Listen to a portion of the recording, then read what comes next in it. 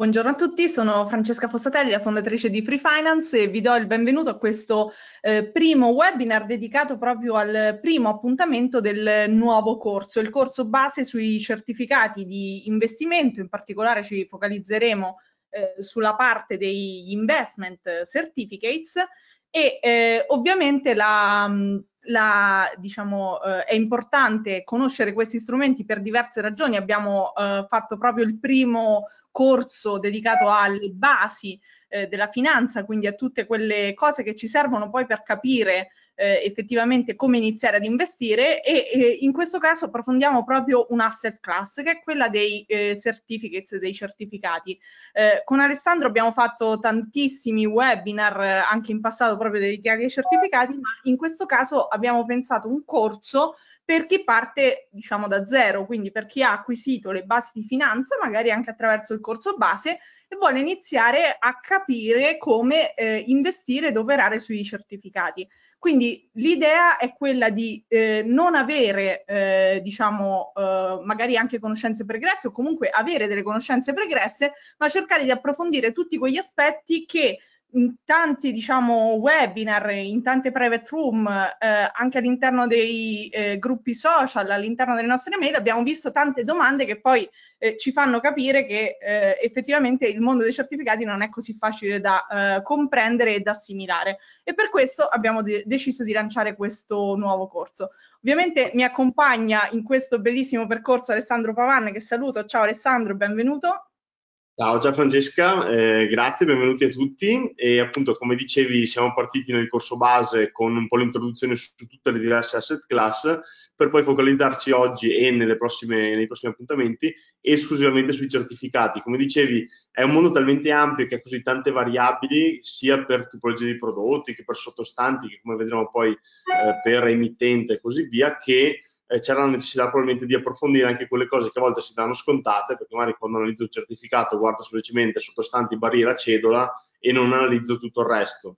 Lo scopo del corso appunto è quello di eh, amplificare un po' eh, lo sguardo e andare a cogliere quegli aspetti che tante volte vengono magari considerati meno nell'analisi di un prodotto. Assolutamente, Vedevo... infatti una sì. cosa, vedevo che eh, qualcuno ci ha scritto video audio ok, qualcuno ci ha scritto non si sente, quindi se, se per favore magari ci date un feedback che, che ci sentite bene, eh, ci fate un favore. Perfetto.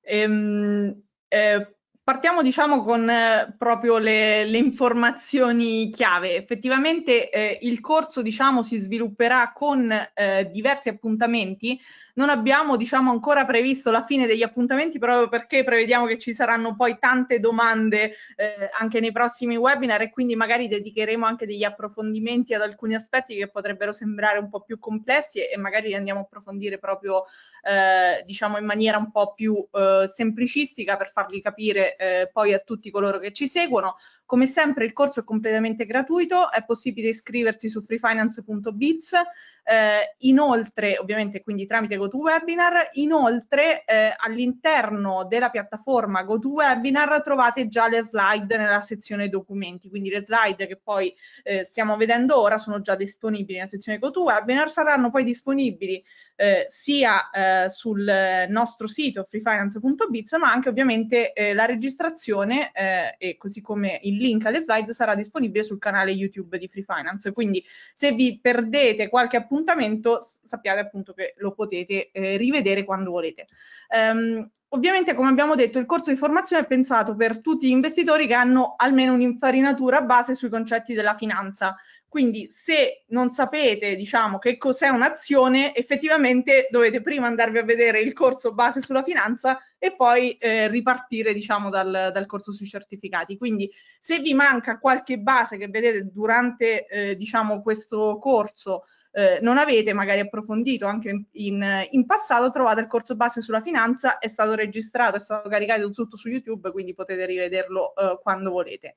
Um, eh, perché approfondiamo i certificati e perché approfondiamo in particolare i certificati di investimento? Eh, sui certificati a leva abbiamo fatto proprio un approfondimento in particolare sui Turbo Certificate, abbiamo fatto un crash course con diciamo un'oretta e mezzo, eh, capite come funzionano i Turbo Certificate che sono appunto eh, eh certificati a leva, ma ci concentriamo sulla parte dei certificati di investimento proprio perché quindi vanno a costituire la maggior parte del nostro portafoglio in certificati e probabilmente magari anche eh, tutta diciamo la parte del nostro portafoglio in certificati, quindi saranno quelli un po' più importanti da capire, comprendere e eh, soprattutto eh, gestire. Um, in particolare eh, è importante soprattutto capire i certificati per tutti coloro che investono magari in obbligazioni o azioni, perché se siete già abituati invest ad investire in azioni ed obbligazioni, vi troverete molto bene con i certificates, quindi basterà proprio appunto questo corso base per poi comprendere, diciamo, immediatamente il funzionamento e poi poter eh, investire direttamente. Il corso parte da zero, quindi non diamo niente per scontato, ovviamente eh, avendo noi delle conoscenze pregresse, nel momento in cui abbiamo strutturato il corso magari potremmo aver dato qualcosa per scontato, quindi se eh, fosse così avete il box domande e in qualsiasi caso qualsiasi domanda è come sempre eh, diciamo eh, ben accetta, non ci sono domande stupide, le domande sono tutte intelligenti anche perché eh, siamo qui per eh, imparare. Um, Francesca, eh, se ti interrompo un momento, se puoi tornare nella slide precedente, volevo fare un attimo un brevissimo collegamento con la situazione macroeconomica in cui ci troviamo oggi, appunto del perché oggi i certificati sono uno strumento attuale. Se pensiamo a, agli anni scorsi, quindi anni in cui i mercati azionari tendenzialmente crescevano e dall'altra parte i mercati obbligazionari davano rendimenti pari praticamente a zero o addirittura negativi, i certificati venivano, venivano visti come un buon strumento da sostituire un po' la parte obbligazionaria. Quindi tendenzialmente il risparmiatore italiano è abituato storicamente ad avere l'investimento in obbligazioni, in bond, in titoli di Stato che eroga delle cedole.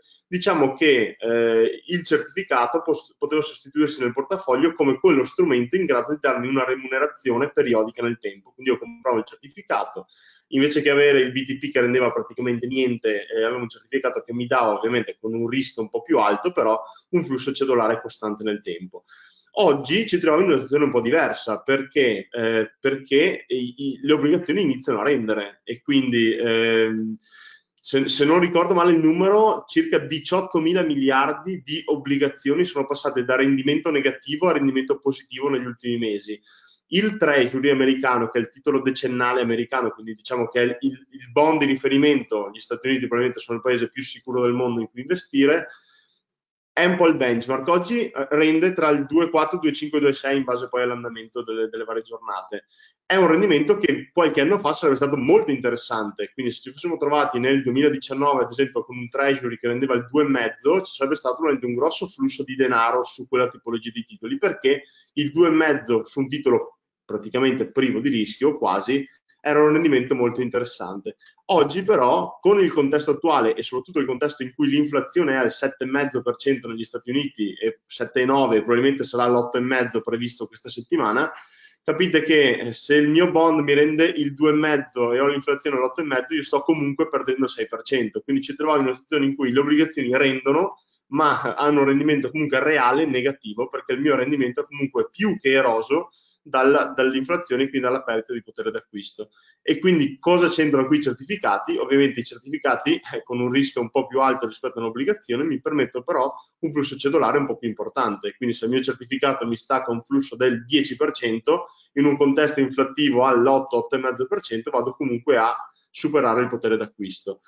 Tutto questo ragionamento va chiaramente inserito nel portafoglio in, con il giusto grado di rischio, con la giusta esposizione, quindi con tutte poi le, le dinamiche che, che prevede l'asset allocation. Però questo è il motivo per cui oggi, nonostante le obbligazioni comunque abbiano rendimenti positivi, investire in certificati è ancora, ancora il suo motivo. Assolutamente, poi magari anche per chi vuole investire in azioni e comunque magari per chi nell'ultimo periodo ha investito in azioni si è reso conto anche della volatilità dei prezzi azionari. Quindi effettivamente oggi investire in azioni, diciamo, col cosiddetto margine di sicurezza diventa molto più difficile rispetto a prima. E quindi magari effettivamente anche quelle azioni che sembravano aver toccato il fondo toccano dei nuovi fondi e continuano a riscendere, a riscendere, a riscendere, quindi magari il certificato eh, diciamo, anche se sicuramente con il certificato andiamo temporaneamente a perdere, abbiamo la scadenza, i premi, quindi abbiamo una serie eh, di caratteristiche che ci vanno ad aiutare a recuperare fin da subito eh, l'eventuale perdita dell'azione e allo stesso tempo magari ci danno anche ulteriore rendimento, eh, specialmente per eh, i, le strutture quelle ad alta volatilità. Quindi l'idea è proprio eh, oggi partiamo eh, con i certificati perché effettivamente i certificati sono un'alternativa interessante sia alle azioni che alle obbligazioni, ma soprattutto si prestano un po' al momento storico di alta volatilità. Um, eh, nel corso, diciamo, ci siamo dati diversi obiettivi. Ovviamente eh, quel, il, il, primo obiettivo è quello di rendervi autonomi, quindi cercare di vedere quanti più concetti possibile in modo tale che nel momento in cui patro, padroneggerete questi concetti sarete in grado poi di capire anche tutte le novità che in futuro ci saranno sui certificati. Quindi l'idea è quella di darvi tutte le informazioni possibili e immaginabili sui certificati. Ovviamente questo è un corso base ci sarà poi nella seconda parte dell'anno il corso avanzato che sarà concentrato soprattutto sul pricing e sulla gestione di portafoglio. Quindi in quel caso quella sarà la parte per eh, chi magari ha già diciamo, eh, seguito il corso base, ha approfondito i temi, magari ha negoziato i primi certificati e poi vuole approfondire ancora di più eh, il pricing e la gestione di portafoglio. Partiamo da che cos'è un certificato, perché fondamentalmente questa è la, prima domanda che ci dobbiamo fare. Che cosa sono i certificati? I certificati sono strumenti finanziari, quindi fondamentalmente eh, eh, sono strumenti che ci permettono di eh, investire. Sono derivati, eh, l'abbiamo detto nel corso base che cosa sono i derivati, abbiamo proprio approfondito un particolare tipo di derivati, le opzioni, quindi sono degli strumenti che vanno a derivare il loro prezzo dal prezzo di un altro strumento finanziario che è detto sottostante. Quindi eh, il nostro certificato seguirà in qualche modo, quindi dipenderà in qualche modo da quello che succede a un qualcos'altro, per esempio a un'azione. Quindi un certificato di investimento costruito su Fiat dipenderà dall'andamento dell'azione Fiat quindi dipenderà per esempio dal prezzo dell'azione Fiat, dipenderà dai dividendi dell'azione Fiat, dalla volatilità dell'azione Fiat, quindi da, da tutte le caratteristiche eh, del eh, sottostante su cui è costruito. Sono derivati cartolarizzati, eh, perché appunto diciamo sono fondamentalmente con un unico ISIN, quindi con un unico titolo, noi riusciamo a comprare un certificato che in realtà è una combinazione di opzioni. Quindi così come compriamo un'azione possiamo comprare una combinazione di opzioni che è in effetti un certificato. Adesso vediamo proprio esattamente che cosa significa combinazione di, di opzioni. Sono strumenti finanziari derivati cartolarizzati negoziati su mercati regolamentati o MTF. Che cosa significa? Che effettivamente noi non è che possiamo andare a comprare, diciamo, per esempio certificati al supermercato, li andiamo a comprare su un mercato di negoziazione. Quindi li andiamo a comprare su un mercato regolamentato o un MTF, che quindi è, è quello che è un, diciamo, un po' uh, l'idea del, del, dell'ex mercato regolamentato, e quindi i nostri certificati non saranno, uh, diciamo, tra virgolette, carta straccio, saranno soggetti a una serie di regole. Quindi non stiamo andando a comprare un qualcosa su un mercato non regolamentato, quindi dove le regole le fanno eh, le case prodotto, dove lo fa il broker di turno. Ovviamente stiamo andando a comprare un qualcosa che è negoziato su un mercato regolamentato, che quindi ha tutti i sacri crismi eh, a livello legale eh, che ci permettono di avere una tutela come risparmiatore. Quindi quando andiamo a comprare certificati eh, andiamo fondamentalmente a comprare uno strumento dove eh, non è possibile che eh, succeda qualcosa di strano che non è previsto dalla documentazione. Fondamentalmente questa è un po' eh, l'idea. In documentazione noi quello che faremo, come vedremo tra poco, stiamo praticamente facendo un contratto. Um, quindi che cosa fa? Quindi che cos'è un certificato? Il certificato è uno strumento finanziario derivato cartolarizzato, negoziato sul mercato regolamentato un MTF, che ci va a fare? Va a permettere di investire, eh, permette diciamo all'investitore di investire o in una strategia composta da opzioni, quindi un insieme di opzioni, oppure in un'altra strategia. In quel caso è un certificato della tipologia track tracker, cioè che replica uno a uno una strategia, come abbiamo visto per esempio eh, gli ETF, quindi una, una replica lineare di un qualcosa. Quindi nella maggior parte dei casi, diciamo 99% dei certificati sono opzioni, quindi sono opzioni combinate tra loro, ma c'è una piccola percentuale di certificati tracker appunto che non sono opzioni, quindi sono semplicemente una replica passiva di eh, una strategia. Come abbiamo detto, il certificato quindi nella maggior parte dei casi, quindi 99% dei casi, è una combinazione di opzioni. Quali opzioni? Perché effettivamente noi abbiamo visto nel corso base che le opzioni possono essere negoziate, eh, sono negoziabili da un qualsiasi cliente retail. Quelle opzioni che noi abbiamo visto, quindi le classiche con le put, sono le opzioni plain vanilla, quindi quelle semplici, quindi facili da capire, facili da comprendere, negoziabili anche da investitori retail. Nel caso invece delle opzioni complesse, esotiche, vengono dette diciamo in contrapposizione alle plain vanilla, questa tipologia di opzioni non sono negoziabili da noi retail. Quindi tutto quello che è un, eh, un'opzione un po' diversa dalla classica con le put non è negoziabile e quindi fondamentalmente se noi andiamo a comprare un certificato andiamo a, eh, ad avere accesso a un qualcosa a cui non avremmo accesso altrimenti perché mentre magari un investitore istituzionale ha accesso eh, alle eh, opzioni esotiche, noi come investitori retail non abbiamo accesso alle opzioni esotiche. E questo risponde a una domanda che mi fate sempre. Ma allora io non mi posso costruire un certificato da sola? Cioè, se io so già quali sono le opzioni, quindi come costruire il certificato, posso costruirmi un certificato da solo? Teoricamente sì, in pratica no, perché non mi posso comprare le opzioni esotiche che poi sono la maggior parte della struttura del certificato ma partiamo da zero.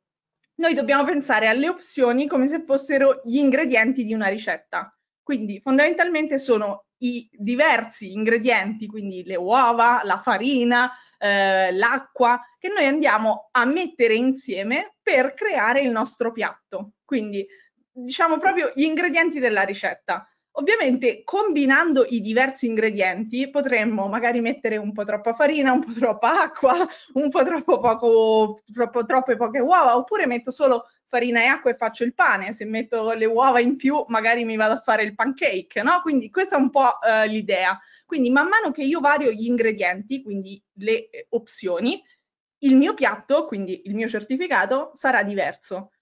Ovviamente questo vi farà uh, sorgere una domanda, magari a me piace più il pane dei pancake, no? O più i pancake del pane. Quindi io magari a me piacciono più ingredienti rispetto alcuni ingredienti rispetto a degli altri.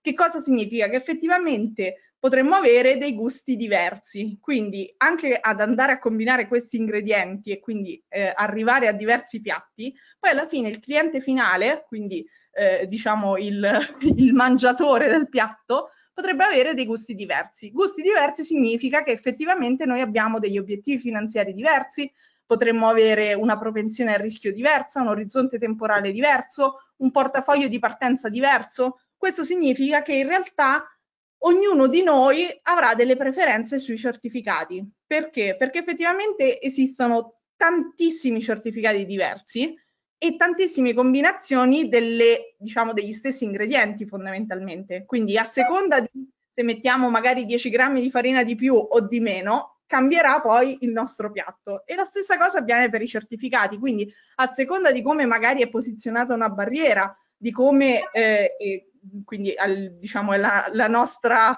farina, diciamo i nostri 10 grammi di farina in più o in meno, o a seconda per esempio del premio che viene pagato, che è il risultato diciamo del piatto. Eh, quindi in questo caso noi potremmo avere delle preferenze più verso una, eh, un prodotto o verso un altro e queste preferenze saranno date proprio da tutto, eh, tutta, tutta quella che è la nostra esigenza, quindi l'obiettivo finanziario, la propensione al rischio, il nostro orizzonte temporale, il nostro portafoglio di partenza.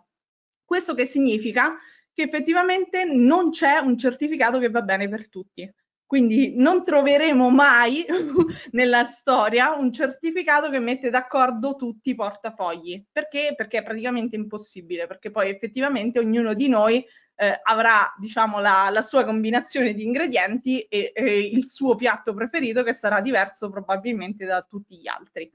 Um, quindi, eh, dato che non esiste il certificato che va bene a tutti, e quindi questo vi fa capire anche che in generale il portafoglio in certificati è una cosa abbastanza personale, perché? Perché dipende ovviamente dalla view che noi abbiamo sui diversi sottostanti, della nostra propensione al rischio, del nostro capitale. Quindi effettivamente ognuno di noi deve essere bravo a combinare gli ingredienti per creare, diciamo, eh, il suo portafoglio in certificati e che risponda un po' alle, alle proprie esigenze, quindi ai propri gusti.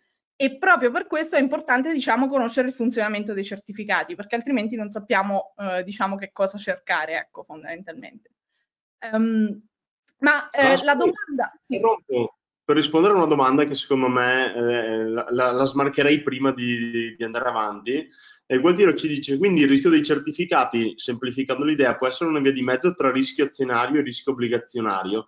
Ecco, considera che io il sta a metà tra l'azione e l'obbligazione è come solitamente spiego un certificato tipo a mia madre che, che non sa cos'è. Io lo dico sempre così, cioè io ho un certificato che mi permette di, eh, come un'obbligazione, avere il rischio emittente, quindi di chi, eh, di chi costruisce il certificato, e di prendere delle cedole periodiche. Quindi io so che compro a 100, rimborsa a 100, non ho tendenzialmente guadagno sul capitale, a meno che non lo compro ovviamente sotto, sotto la pari, però semplificando il concetto, compro a 100 a scadenza mi rimborsa a 100, nel frattempo cos'è che incasso? Le cedole periodiche, come un'obbligazione. Dall'altra parte, come un'azione, però il prezzo del certificato si muove in base a come si muovono i sottostanti. Quindi se l'azione cresce, anche il prezzo del certificato tenderà a crescere, se l'azione scende o qualsiasi altro sottostante scende, il prezzo del certificato tenderà a scendere. Però con un limite, perché io ho rischio azionario tendenzialmente dalla barriera in giù, perché eh, fino alla barriera di protezione anche la scadenza del mio capitale è comunque protetto. Quindi io sì, ho il rischio che ha un'azione, però diciamo che se la mia barriera è posta al 40%, fino al 39% io è come se non avessi il rischio azionario, ce l'ho da lì in giù, perché da lì allora perderò tanto quanto perde l'azione però eh, ho appunto come l'obbligazione ho rischio emittente, come l'azione ho il rischio dell'andamento, ripeto, al di sotto di, di, un certo livello. Fino a quel livello lì ho, ho un po' di protezione in più.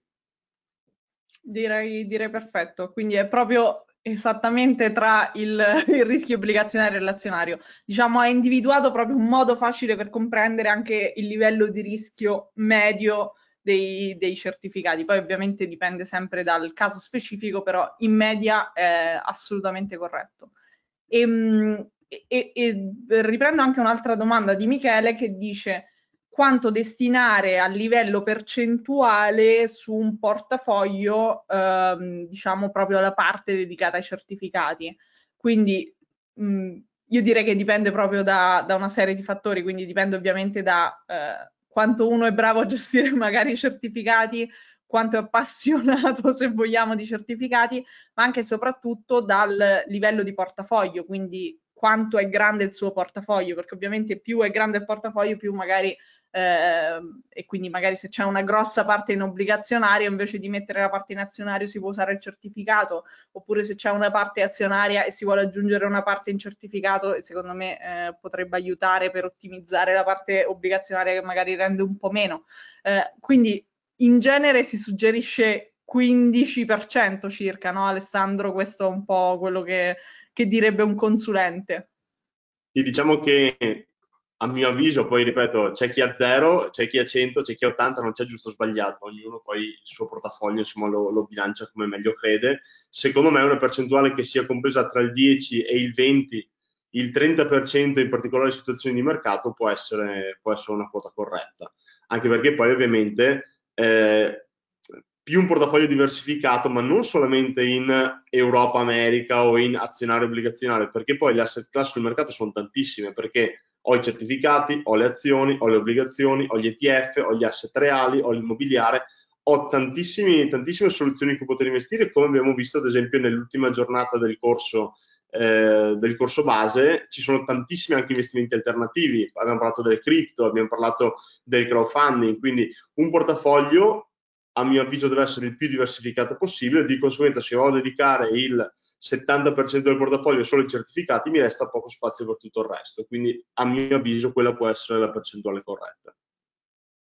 Assolutamente. Poi, ovviamente, magari dice Michele, ovviamente al vino, quindi ti fa anche quest'assist. Eh, ovviamente, diciamo, secondo me una cosa interessante è appunto eh, quella di eh, convertire la parte azionaria in certificati, perché effettivamente si va magari ad abbassare un pochino il rendimento de della parte azionaria, ma si va a guadagnare tantissimo a livello proprio di eh, risk management, ma anche di volatilità del portafoglio. Quindi secondo me quella è proprio una cosa che potrebbe essere veramente utile magari per chi è un investitore, eh, diciamo, che predilige un po' di più la parte azionaria, specialmente chi è nella fase iniziale, diciamo, del, del suo percorso da, da, investitore, che mette un po' più rischio, quindi può aver senso, diciamo, uh, amplificare magari la parte in certificati. Um, perché esistono i certificati? Innanzitutto i certificati sono nati negli anni 90 in Germania, che tra l'altro, uh, diciamo, eh, Germania in primis e poi eh, Svizzera, poi Italia e poi tutti, tutto il resto dei mercati sono i, i, mercati dei certificati più sviluppati, quindi per chi non lo sapesse effettivamente il mercato più sviluppato è il mercato tedesco. Um, sono arrivati negli anni 2000 in Italia, quindi in realtà diciamo sono, è un mercato giovane, no? se vogliamo, Um, ma eh, la cosa interessante è che effettivamente i certificati sono nati per rispondere a un'esigenza di mercato, perché prima che ci fossero i certificati, solo gli investitori istituzionali potevano effettivamente crearsi, eh, appunto scambiando OTC, quindi over the counter, quindi eh, diciamo non sul mercato regolamentato, ma appunto tra loro, eh, delle opzioni esotiche che andavano a combinare creando essi stessi fondamentalmente la strategia uh, del certificato che oggi noi acquistiamo con un semplice eh, click. Quindi fondamentalmente prima che cosa c'era? Non c'era niente e quindi gli investitori istituzionali si creavano queste strutture eh, da soli. Uh, ovviamente le banche di investimento hanno visto che c'era uh, una richiesta per questa tipologia di strutture eh, tra investitori professionisti e hanno deciso di renderlo poi disponibile anche a tutti gli investitori fai da te, quindi all'investitore retail, vendendogli appunto la strategia preconfezionata, quindi senza vendergli le opzioni esotiche a pacchetti, che ovviamente sono un po' più difficili e complesse da maneggiare per un investitore retail, ma vendendogli direttamente tutto, eh, tutto il pacchetto. Eh, ovviamente, come tutte le asset class, abbiamo dei rischi e delle opportunità eh, dei certificati. In particolare i rischi, il primo rischio de dei certificati è il rischio di mercato, perché andiamo ad acquistare un certificato legato a un sottostante quel sottostante dipenderà dalle sue variabili di mercato. Quindi il certificato cash collect, eh, ad esempio su Fiat, un certificato di investimento su Fiat, se Fiat, mm, magari un certificato long, eh, quindi che ha una direzionalità positiva, se Fiat scende, tendenzialmente il certificato andrà a scendermi, non come Fiat, ma eh, un po' meno di Fiat, ma comunque scenderà. Quindi effettivamente se il mercato, il sottostante, si muove nella direzione opposta eh, a quella del certificato, eh, effettivamente abbiamo un rischio, ossia il rischio che il nostro investimento tenda a, a scendere. Dall'altro lato possiamo avere... Con questo rispondo anche a, a, Michele che ci chiedeva quindi devo vederla più come un'obbligazione o più come un'azione. in realtà non è nessuno di due, ma se devo associarlo più a qualcosa lo associo all'investimento azionario, perché eh, se il sottostante si muove eh, ovviamente il certificato si muove di prezzo. Se io compro un'obbligazione su eh, Fiat, eh, Stellantis in questo caso, ehm, ovviamente un'obbligazione se Fiat domani perde in borsa il 10%, non è che uno si immagina che Fiat fallisce e quindi l'obbligazione perde di prezzo. Tendenzialmente l'obbligazione si muove per altre variabili, ma bene o male su questo tipo di società, su questo tipo di obbligazione rimane più o meno costante. Eh, dall'altra parte invece se eh, l'azione Fiat perde il 10% il certificato mi perde non il 10 ma magari il 5, il 6, il 7 dipende anche dal livello poi del prezzo. Quindi se devo sostituirlo in una set class all'interno del portafoglio la associo più alla parte azionaria che a quella obbligazionaria. Poi il mio concetto all'inizio era ho le obbligazioni che non mi rendono più quello che deve rendermi nel portafoglio, se ci metto i certificati magari ho una remunerazione più elevata. Questo non significa elimino la componente obbligazionaria e la sostituisco in toto con i certificati, però mi permettono di fare un po' il, il giusto trade-off tra le due diverse asset class. Assolutamente. E ovviamente poi, come, come, dice Massimo, c'è il caso limite, quello di, di Wirecard, l'azione mi si azzera, allora a quel punto se avevo investito in Wirecard o nel certificato, poi è cambiato perché, eh, diciamo, effettivamente sono andato più o meno a zero anche sul certificato. Um, oltre al rischio di mercato, che è il rischio principale, eh, io continuo a fare le, eh, diciamo, l'esempio con Fiat perché mi rimane da diciamo, una decina di anni fa, quindi a me no, non viene l'esempio con Stellantis ormai, quindi mi scuso con, con chi segue. eh, Perdoneranno la... gli esperti, non è Esatto. Non è per cattiveria. Nonostante siamo nel 2021, a me rimane l'esempio di, di Fiat. Facciamo intesa, almeno eh, è più facile.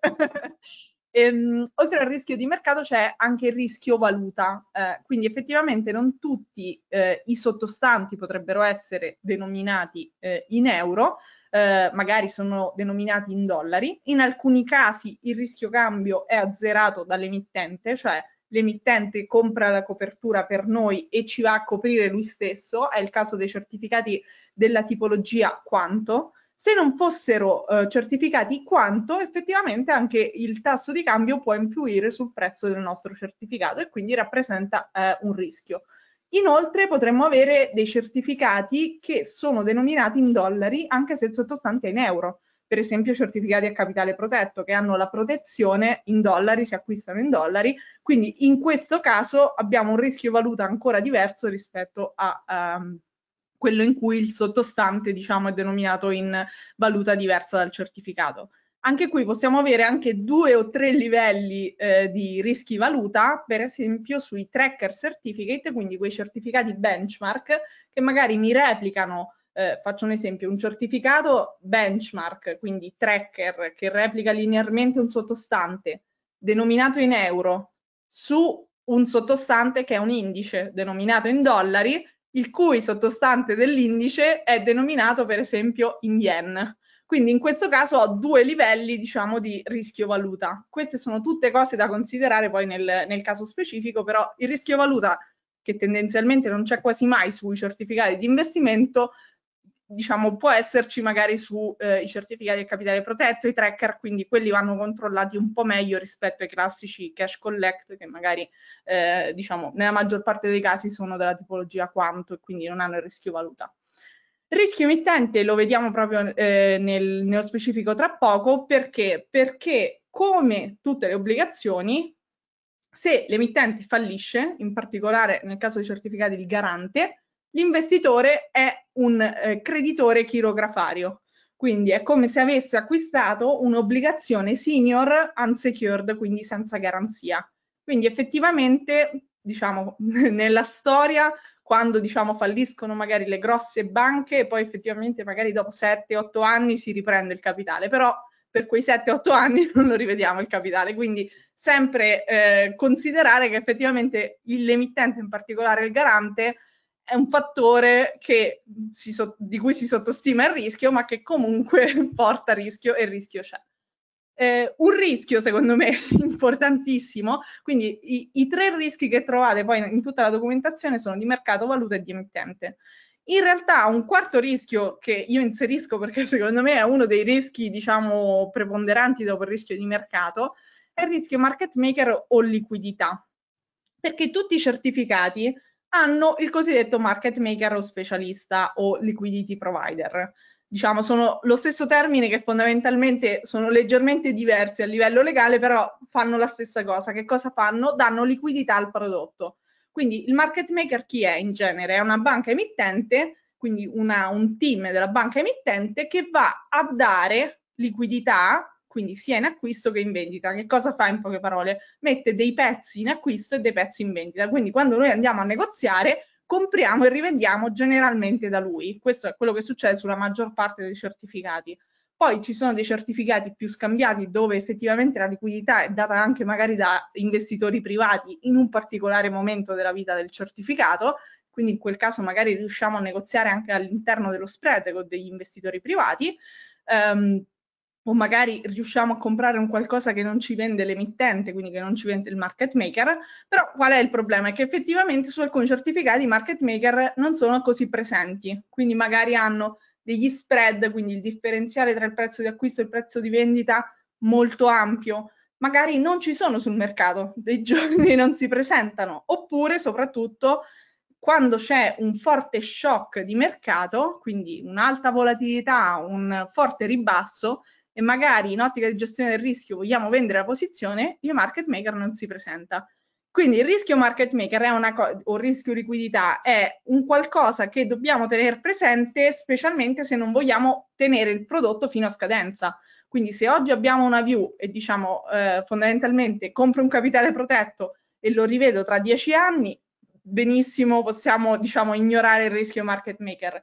Ma se effettivamente magari pensiamo che potremmo anche volerlo vendere prima della scadenza, il market maker è importante.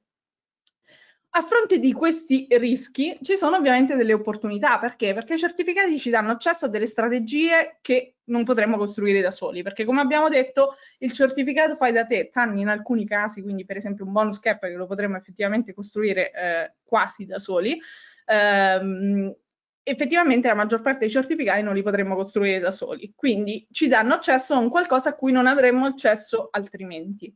Inoltre eh, ci danno accesso a queste strategie eh, negoziando un unico ISIN, quindi magari per esempio su eh, una cosa facile da capire è i tracker, che sono appunto dei certificati che replicano linearmente un portafoglio, ci danno accesso a un portafoglio di investimento senza dover comprare le singole componenti. Quindi se per esempio voglio investire in un portafoglio diversificato eh, di, eh, legato ad un certo tema, per esempio l'acqua, mi vado a comprare un tracker certificate che ha delle azioni tutte legate all'acqua e spendo 100 euro comprando un singolo eh, certificato, invece di dover spendere magari migliaia di euro per comprare le stesse azioni che magari costano eh, di più.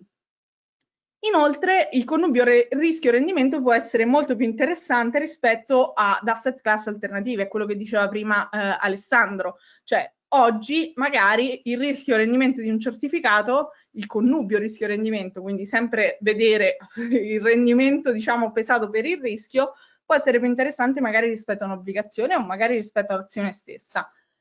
E inoltre c'è eh, la cosiddetta efficienza fiscale, perché effettivamente permettono il recupero delle minus. Uno dei vantaggi, anche uno dei motivi per cui eh, storicamente poi in Italia, questo però è una cosa tutta italiana perché questa regola diciamo a livello di tassazione favorevole, eh, quindi per il recupero delle minus sui certificati c'è solo e esclusivamente in Italia, quindi nei mercati in cui effettivamente vengono trattati di più i certificati come il mercato tedesco non c'è il vantaggio fiscale, quindi è indipendente da questo, però in Italia il vantaggio fiscale comunque ha dato un boost allo sviluppo di questi strumenti perché? Perché effettivamente non tutti i prodotti finanziari permettono di recuperare le minusvalenze. Quindi se io ho delle minusvalenze pregresse e le voglio recuperare eh, con delle plusvalenze su altri strumenti, eh, le posso recuperare con eh, lo strumento certificati che poi è un po' il, lo strumento quello più facile con cui recuperare le minus. Quindi se ho delle minus in scadenza, per esempio,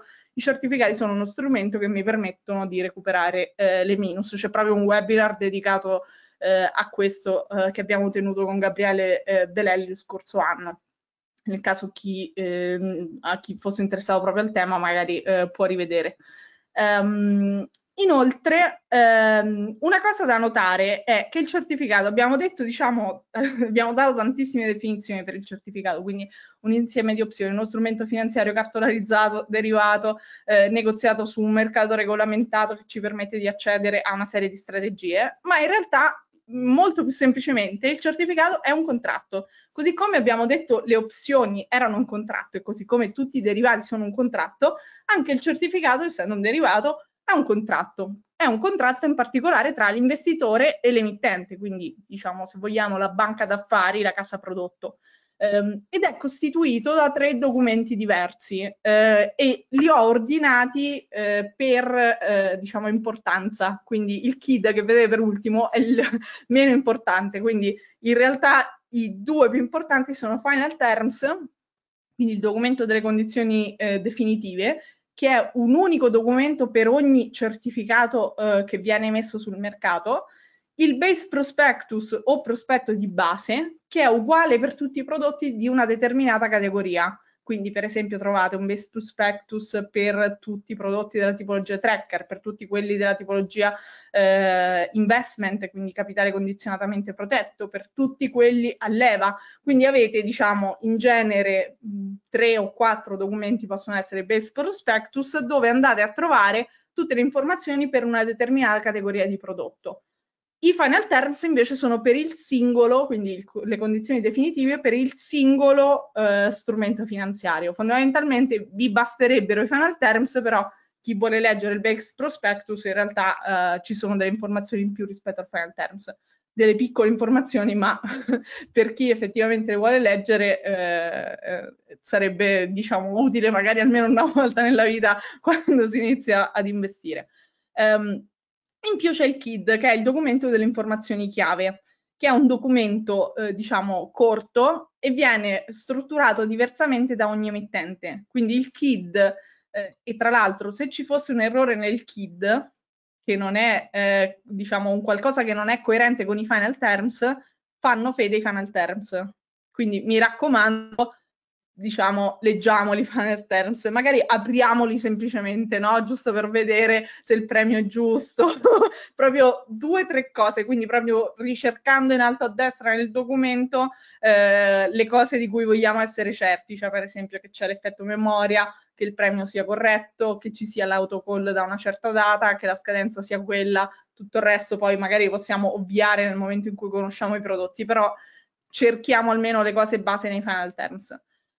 Um, partiamo poi da dove eh, vengono eh, negoziati i certificati, quindi eh, qual è il luogo dove vengono negoziati i, i certificati. Um, I certificati possono essere negoziati in due luoghi, in realtà, se vogliamo. Uh, da una parte OTC, quindi over the counter, e quindi direttamente con l'emittente. Questa è una cosa che noi non possiamo fare, quindi ve la dico perché per darvi questa informazione, ma non è che domani noi possiamo andare dall'emittente e dirgli vogliamo comprare direttamente da voi, direttamente senza passare da una banca o broker eh, di mezzo. No, questo è impossibile, eh, però effettivamente per chi è un cliente eh, istituzionale e vuole effettivamente negoziare direttamente con l'emittente può farlo appunto OTC. Eh, in questo caso eh, le controparti istituzionali e professionali non vanno a comprare quello che compriamo noi, ma eh, si fanno costruire degli strumenti ad hoc, quindi personalizzati sulla base delle loro esigenze. Cioè, faccio un esempio, magari eh, un fondo comune di investimento eh, vuole andare a sostituire una posizione azionaria eh, ed abbassare il rischio, può farsi costruire magari un certificato che ha le stesse caratteristiche eh, diciamo di partenza della sua posizione eh, e anche sulla base della sua view e eh, a quel punto andarlo a negoziare e comprarlo direttamente dall'emittente. Questa è una cosa che ovviamente eh, noi non possiamo fare perché questi strumenti che negoziano diciamo, le grosse istituzioni non sono disponibili agli investitori retail. Ovviamente qui il mercato è un po' diverso perché? perché l'investimento minimo in genere è di entità molto rilevante, quindi si tratta di milioni di euro. Eh, I pricing ovviamente, quindi i prezzi, sono migliori rispetto a quelli dei mercati regolamentati dove vengono negoziati meno masse. E quindi fondamentalmente diciamo quello è un mercato bello per chi lo vede dietro le quinte come me ma non è un mercato diciamo purtroppo accessibile a, a noi altri. Quindi mi dispiace ma uh, è, è, così. Dall'altro lato abbiamo il mercato regolamentato uh, o appunto MTF eh, in questo caso il mercato è accessibile a tutti gli investitori. Quindi eh, l'istituzionale potrebbe comprarsi qualcosa sul mercato regolamentato, così come potrebbero comprarselo tutti gli investitori retail.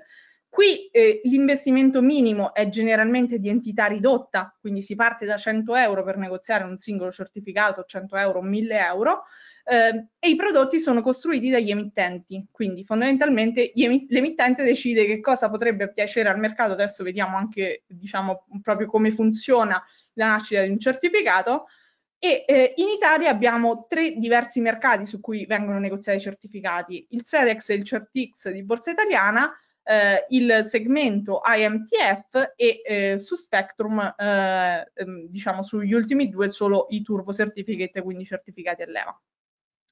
Abbiamo due tipologie di mercato, quindi eh, abbiamo visto, possiamo negoziarli o OTC o su mercati regolamentati.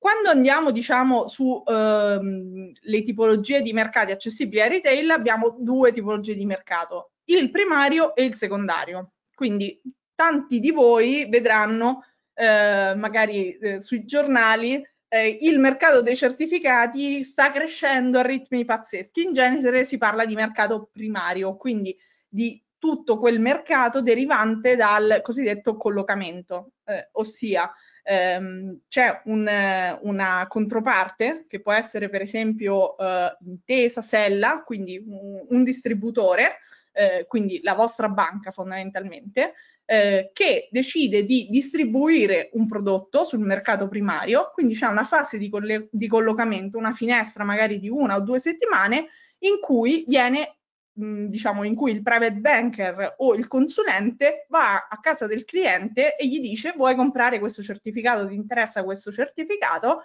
E il certificato ha un prezzo che rimane fermo per tutta la finestra di collocamento, quindi rimane fermo a 100 euro o 1000 euro al suo valore nominale e l'investitore che poi è interessato a quel certificato e compra quel certificato, compra quel certificato a 100 o 1000 euro, quindi eh, di, direttamente dal eh, mercato primario.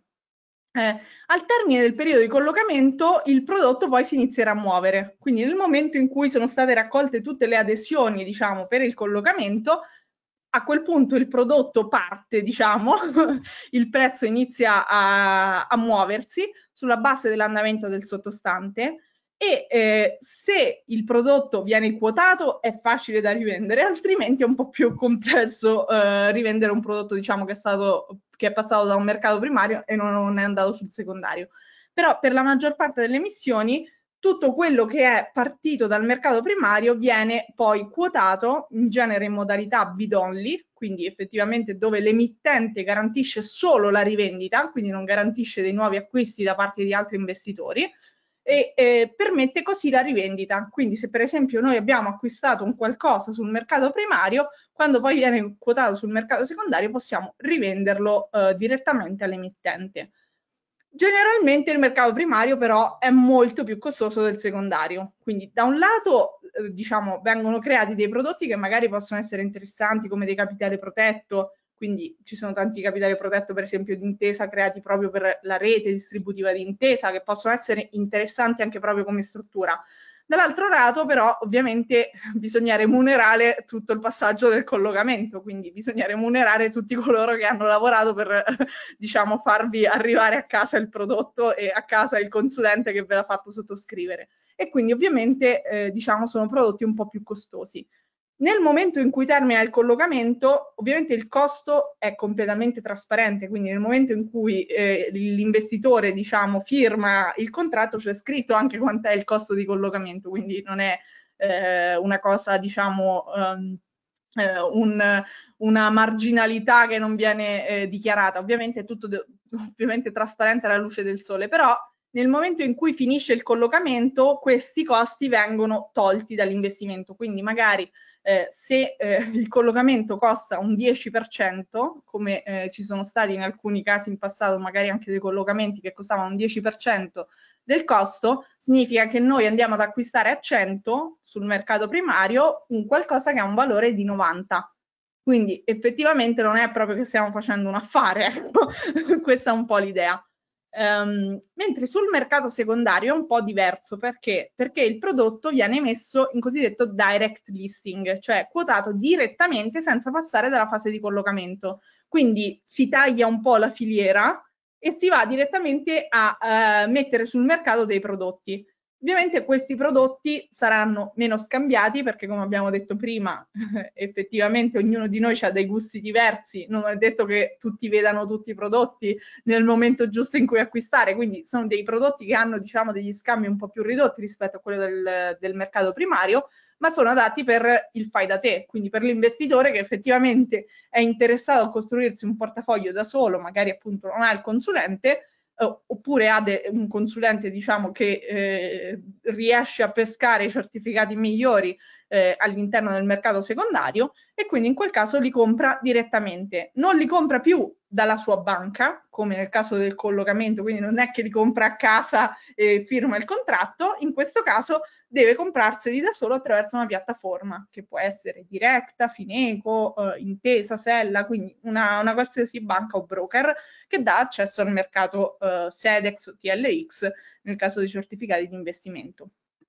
E, um, ovviamente su, eh, sul mercato secondario abbiamo eh, sia certificati a leva che di investimento. E qui vediamo appunto un po' le differenze, perché mentre il SEDEX e il Certix di Borsa Italiana sono eh, diciamo, i eh, mercati su cui vengono quotati certificati a leva e di investimento e sono accessibili da qualsiasi banca o broker, nel caso dei eh, certificati quotati su IMTF e Spectrum, che sono entrambi della tipologia Turbo, quindi vengono quotati lì solo Turbo Certificate, eh, nel caso di Spectrum c'è accesso al momento solo tramite conto IG.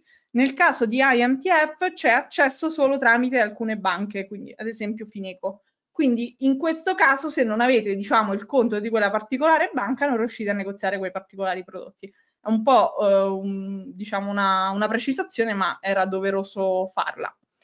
Partiamo da chi sono gli attori poi del mondo dei certificati. Eh, io ho fatto due, una, sempre anche qui, una distinzione per farvi vedere anche l'altro mondo, eh, diciamo, del, tra virgolette, dell'alta finanza, no? Eh, nel, sul mercato regolamentato, quindi sugli MTF, eh, abbiamo diversi attori e eh, li vediamo proprio come, come filiera, eh, se vogliamo, del, del, business dei certificati. Abbiamo la banca d'affari, che è la banca emittente, il garante, il market maker o specialista, quindi ad esempio BNP Paribas, la rete distributiva, che può essere di mezzo tra eh, rete distributiva e consulente finanziario, come abbiamo visto nella fase di mercato primario, quindi nel caso di BNP Paribas potremmo avere BNL come rete distributiva, il consulente finanziario, quindi il consulente di BNL e alla fine il risparmiatore. Ovviamente non è detto che ci sia la rete distributiva e il consulente finanziario. In questo caso, se per esempio comprate direttamente un prodotto in direct listing, quindi sul mercato secondario, comprate il prodotto di BNP Paribas senza aver bisogno della rete distributiva e del consulente finanziario e ve lo scegliete da soli e negoziate da soli con la vostra piattaforma. Nel mondo OTC eh, invece ci sono fondamentalmente tre attori principali, c'è la banca d'affari come prima, quindi la, la società da cui parte poi eh, il, il prodotto. Nel mezzo c'è in genere una società di consulenza e strutturazione, quindi delle boutique specializzate, fondamentalmente quello che, che faccio io di lavoro. e eh, alla fine c'è l'investitore istituzionale, che quindi sono quelle società finanziarie che operano con capitali elevati in modo sistematico e professionale, ad esempio un asset manager, um, quindi un fondo di investimento. Um, vediamo però nel dettaglio che cosa fanno i diversi attori, come guadagnano e capiamo anche come funziona un po' il mondo dei certificati, anche gli interessi che ci sono all'interno del mondo dei certificati.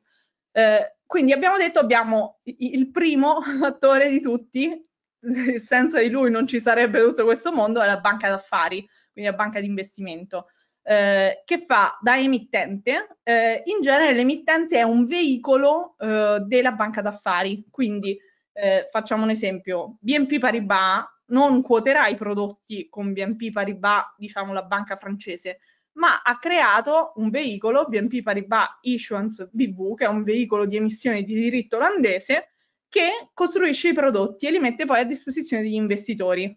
Perché si creano questi veicoli? Diciamo per diverse ragioni, diciamo da un lato ragioni legali, dall'altro ragioni fiscali. Fondamentalmente alla fine la banca per ottimizzare sceglie un paese eh, che è un paese sempre MIFID compliant, quindi che sia all'interno della regolamentazione MIFID, per costruire i suoi prodotti. Quindi alcuni prodotti potrebbero partire appunto come in questo caso dall'Olanda, altri potrebbero partire da Francoforte, ehm, ma l'idea appunto eh, diciamo eh, che effettivamente l'emittente stesso non è la banca che poi vediamo come garante, ma è una società veicolo diversa. Um, l'emittente guadagna dall'emissione del prodotto e non ha rischi. Perché? Perché effettivamente l'emittente copre ogni prodotto, cioè compra le opzioni. Facciamo un esempio concreto. Eh, l'emittente BNP Paribas domani eh, emette un prodotto eh, e lo mette sul mercato a 100 euro e diciamo il prodotto ha un valore, quindi le componenti delle opzioni, quindi compra tutte le opzioni, le paga 99 e vi vende un qualcosa che, che vale 100 e quindi lui si guadagna quell'euro. Quindi gli rimane diciamo in tasca un euro. Ha comprato le opzioni, quindi fondamentalmente non ha rischio se non rischio controparte, se vogliamo che appunto la controparte poi non gli ridia indietro i soldi, ma tendenzialmente questo non succede quasi mai perché poi eh, le, le controparti sono diversificate, e a voi vende un qualcos'altro, quindi fondamentalmente guadagna, tra virgolette, a rischio zero. E soprattutto non è disallineata. Non è che se l'investitore perde, allora BNP Paribas guadagna. E lo stesso vale, diciamo, per qualsiasi emittente. Quindi questo è fondamentale da capire perché questo è quello che succede sul mercato non regolamentato. In genere sul mercato non regolamentato, se io perdo, la casa prodotto vince e quindi questo è da, da capire perché effettivamente non voglia, loro non vogliono che noi perdiamo e questa è già una, una base di partenza diciamo abbastanza importante. C'è poi il garante, che in, in, generale, quindi nella maggior parte dei casi, è la casa madre, quindi è la banca d'affari quella che ha il rating migliore. Perché? Perché in genere non è detto che eh, l'emittente abbia rating, quindi l'emittente stesso in realtà non è garante, non è quello che poi diciamo eh, ci dà il, il, rischio di credito, ma l'emittente stesso in genere eh, tendenzialmente non ha rating, cioè è proprio una società veicolo. In alcuni casi lo potrebbe avere, quindi poi dipende un po' dalle società. Um, in alcuni casi, il garante, quindi per esempio su BNP Paribas, la BNP Paribas, banca francese che ha tutti e tre i rating, effettivamente è quella che è la garante dei nostri prodotti. Ci sono però dei casi in cui l'emittente inserisce un garante diverso dalla banca principale. Quindi, per esempio, la BNP Paribas potrebbe mettere una branch di BNP Paribas che ha magari il rating o che non ce l'ha. E quindi in quel caso dovremmo essere noi a vedere che effettivamente il garante è quello giusto. Perché, per esempio, se andiamo a comprare dei prodotti a capitale protetto, potremmo trovare che effettivamente il garante non è eh, diciamo la, la banca d'affari, quindi la, la, casa madre, ma magari è una branch più piccola che ha un rating più basso e quindi lì effettivamente potremmo avere qualche problema. Dal garante, eh, ovviamente, come abbiamo detto, dipende il rischio emittente del certificato. Quindi se per esempio il garante non ha rating, lì è difficile stimare qual è il rischio emittente e quindi eh, diciamo lì potrebbe crearsi magari qualche problema. Ci sono pochissimi emittenti che non hanno rating, però questa è una, una cosa da considerare. In più la banca d'affari fa quindi da emittente, da garante e da market maker o specialist, quindi fornisce la, li la liquidità del prodotto. Non è detto che lo specialist sia la banca d'affari, quindi effettivamente il market maker potrebbe essere anche una, uno specialista che viene assunto, eh, quindi che viene pagato dalla banca d'affari per dare liquidità al prodotto, perché magari la banca d'affari non vuole fare il market maker. Il market maker è quello che guadagna dallo spread, quindi dalla differenza tra bid e ask, cosa molto importante perché, come abbiamo visto, l'emittente può guadagnare appunto vendendoci un qualcosa che vale meno a un prezzo più alto, quindi diciamo se vogliamo il costo di emissione, e guadagna dallo spread, quindi queste sono le due fonti di guadagno de, dell'emittente. Quindi, come abbiamo detto, nel mondo dei certificati non c'è disallineamento tra emittente e investitore. Quindi eh, l'emittente non va a guadagnare se noi perdiamo, eh, perché ogni posizione è perfettamente coperta. Dall'altro lato l'emittente ovviamente spera che noi guadagniamo, perché? Perché da un lato eh, sviluppa il suo business, quindi se ci fosse un emittente che eh, emette solo strumenti che vanno a buon fine, e che ci fanno guadagnare, effettivamente sarebbe un emittente talmente bravo che tutti compreremmo solo quei prodotti di quell'emittente. E ovviamente eh, l'emittente guadagnerebbe di più, guadagnerebbe ovviamente più spread, più costi di emissione e guadagnerebbe anche una market share, quindi una quota di mercato più alta. Quindi l'emittente è, eh, diciamo, mh, tende a volere eh, che l'investitore guadagni. Dall'altro lato, un investitore che guadagna tende a reinvestire, un investitore che perde tende a non reinvestire. Quindi l'emittente è fortemente allineato a farci guadagnare. Dall'altro lato, però, l'emittente emette anche quello che piace al mercato.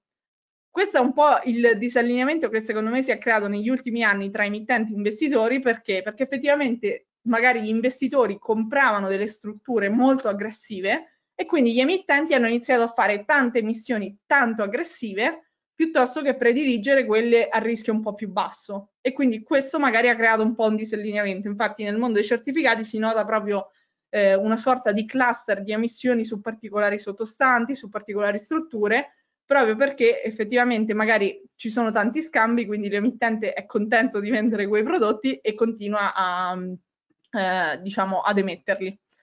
Eh, una cosa che eh, diciamo eh, in realtà mi è stata fatta questa domanda diverse volte, ma in, diciamo non viene mai approfondita perché effettivamente quando si lavora in banca ehm, è un po' difficile capire chi fa cosa, no? Perché ognuno ha un, un, job title, quindi un, una descrizione di quello che fa enorme in inglese e non si capisce bene che cosa faccia ciascuna persona nella banca. Quindi ho fatto un, un, una sorta di piccolo grafichino per far capire chi fa cosa ne, nelle diverse banche, soprattutto quali sono le diverse persone o team comunque che agiscono nel mondo dei certificati. E, e le ho ordinate un po' per importanza, no? Um, abbiamo in primis ovviamente eh, il team di strutturazione che sono coloro che comprano le opzioni. Quindi la, la, la strutturazione, strutturazione e trading dipende poi da chi fa cosa, però in teoria la strutturazione è quella che pensa il prodotto e dice dobbiamo comprare queste opzioni. Il trading le compra, il risk management controlla che non stanno comprando delle opzioni su cui magari c'è un'esposizione eh, diciamo contraria e quindi la posizione si offset e quindi non è necessario magari coprirla, no? Quindi in questi tre sono quelli che poi costruiscono insieme eh, la posizione eh, del certificato. Abbiamo poi eh, il sales institutional, che è fondamentalmente la persona che si occupa di strutturare i prodotti per la clientela istituzionale, quindi quei prodotti che abbiamo visto che passano OTC, quindi che vengono negoziati direttamente con la banca, in quel caso vengono costruiti, quindi diciamo pensati eh, o comunque vengono realizzati insieme a un sales, che è appunto una, un venditore eh, per la clientela istituzionale. C'è poi il market making, eh, che è colui che fornisce liquidità e in genere non è detto che il market making si, diciamo, sia seduto nello stesso ufficio dell'area commerciale o dell'area strutturazione. Quindi è possibile che il market maker sia, per esempio, eh, nella, diciamo, nella casa madre e l'area commerciale invece sia in un altro paese, così come magari la strutturazione è ancora in un altro paese, non nella casa madre. Quindi è possibile che queste persone in realtà siano in uffici collocati in modo eh, geograficamente strano in diversi posti e che comunichino tra loro, diciamo, per creare poi il prodotto che trovate sul mercato. E in ultimo l'area commerciale, che è quella che voi trovate come public distribution, sales retail, marketing. Fondamentalmente questo eh, che cosa fa l'area commerciale? L'area commerciale da un lato potrebbe contribuire alla creazione del prodotto e quindi parlare con la strutturazione e dirgli eh, vedo che il mercato vuole eh, una struttura di questo tipo, quindi creiamola e la creano insieme alla strutturazione, oppure potrebbe occuparsi solo semplicemente della vendita, quindi si occupa per esempio del marketing eh, con le mail che vi manda, gli articoli e quindi fa diciamo la, la parte di eh, commerciale. Perché è importante l'emittente? Eh, perché come abbiamo visto tutti i certificati non hanno la separazione patrimoniale degli ETF, quindi eh, mh, diciamo sono all'interno del book della banca, quindi hanno un rischio emittente. Se l'emittente, in particolar modo come abbiamo detto il garante, dovesse fallire, è come se avessimo un'obbligazione senior unsecured, quindi senza garanzia. Eh, io qui vi ho inserito eh, diciamo un link eh, per eh, valutare eh, il, il, rating creditizio e eh, lo vediamo subito se si apre il link. perché all'interno di formazione link utili trovate proprio il credit rating degli emittenti, diciamo, lo, lo, aggiorniamo periodicamente, quindi è quello corretto, in modo tale che magari appunto se avete una eh, perché ovviamente il credit rating quando andate poi sul sito dell'emittente in alcuni casi viene riportato, in altri no e soprattutto magari se lo cercate su Google non è detto che prendete quello giusto da valutare per, per i certificati, quindi fondamentalmente qui trovate una tabella dove ci sono poi eh, tutti i rating di tutti i, i diversi emittenti del, del mercato italiano. Um, ovviamente, come abbiamo detto prima, attenzione agli emittenti che hanno rating basso o senza rating, diciamo, sono da um, scartare quando possibile o comunque eh, in generale limitare all'interno di un portafoglio, perché ovviamente è vero che quello è un rischio, uh, diciamo, che tendenzialmente non si realizza perché gli emittenti tendenzialmente non, non falliscono, ma non si sa mai, perché solo quando fallirà eh, il primo emittente poi ce ne accorgeremo del rischio emittente. Um, comunque, è comunque il rischio più estremo all'interno di un portafoglio, perché dicevamo prima rischio valuta, rischio mercato, eccetera. Se il mercato mi perde il 10, 15, il 20, diciamo che il rischio emittente è paragonabile, ad esempio, di prima Wirecard, cioè lì meno 100% perché l'azione è stata delistata e è andata a zero. L'unico altro caso in cui io posso perdere il 100% è se fallisce l'emittente, quindi parliamo dei due casi estremi e un meno 100% su un prodotto ovviamente ci metto tanto tempo a recuperarlo, quindi eh, fare particolarmente attenzione perché mentre, ripeto, al mercato se perdo il 10 può essere un rischio comunque contenuto e ho eh, la possibilità di recuperarlo, un meno 100 ovviamente ci metto molto di più.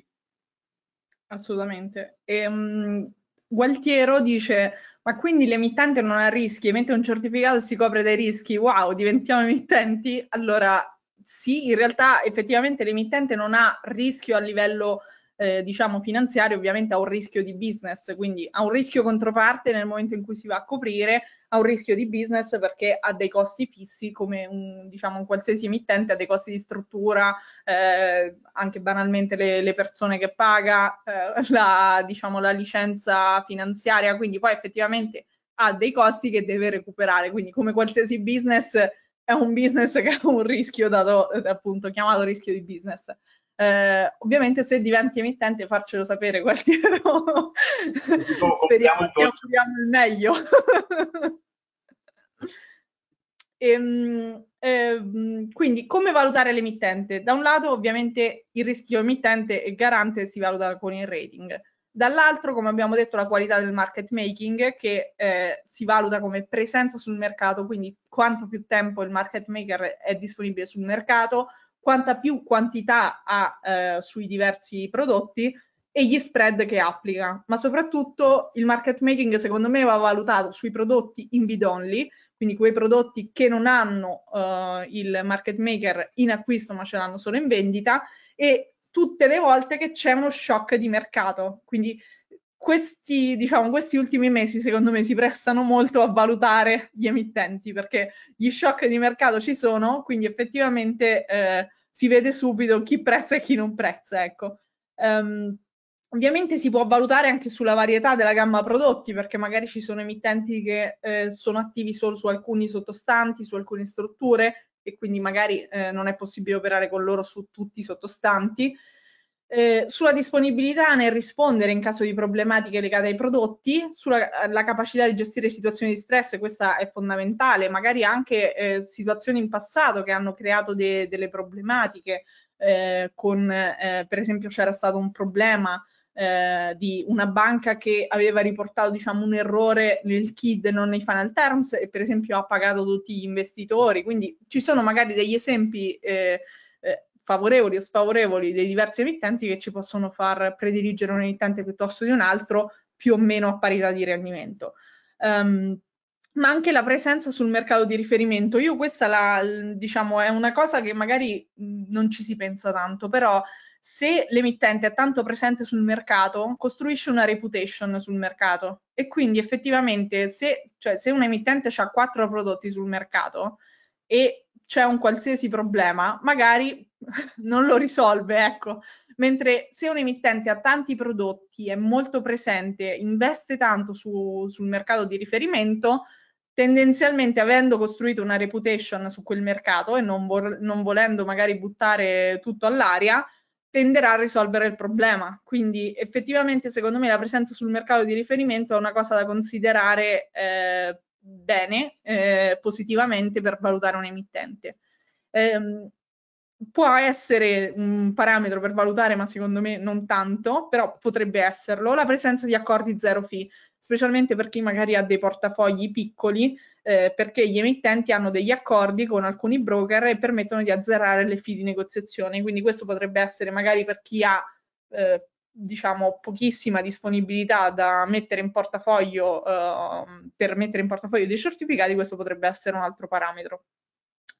Vediamo poi degli altri attori del mondo dei certificati, in particolare eh, un attore che è un po' dimenticato in realtà è il mercato di quotazione, perché in realtà ogni mercato ha il suo regolamento, quindi ha le sue regole del gioco al quale devono sottostare gli investitori, ma anche gli emittenti, i market maker, le banche, i, i garanti, eccetera.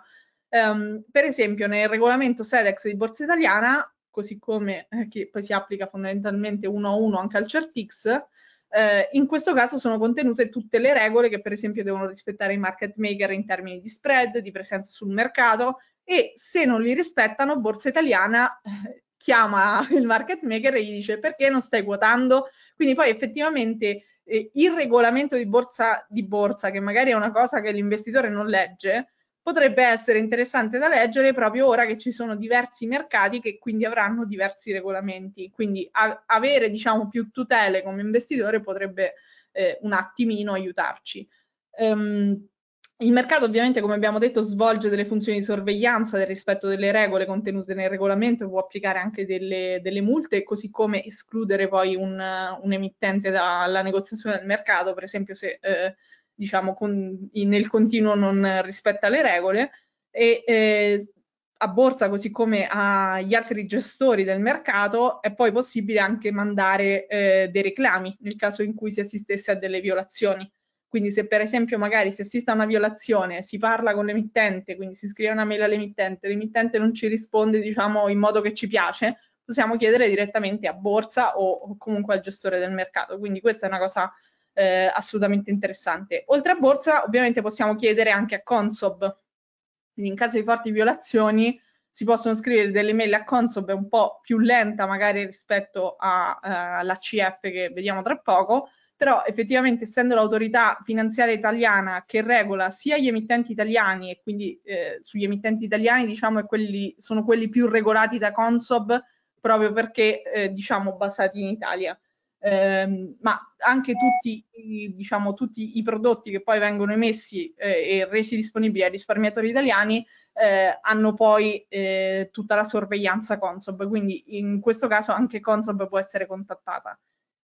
La cosa più facile in realtà, eh, abbiamo visto funziona anche per, per, altre controversie sui certificati, è nel caso ci fossero appunto controversie, l'ACF, cioè l'arbitro per le controversie finanziarie, perché? Perché è fondamentalmente un ente che può essere contattato gratuitamente eh, dal risparmiatore solo in alcuni casi che sono ben determinati sul loro sito ehm, ed è un modo semplice e soprattutto gratuito eh, che risolve le controversie senza dover poi eh, mettere un avvocato magari a rivolgersi al giudice.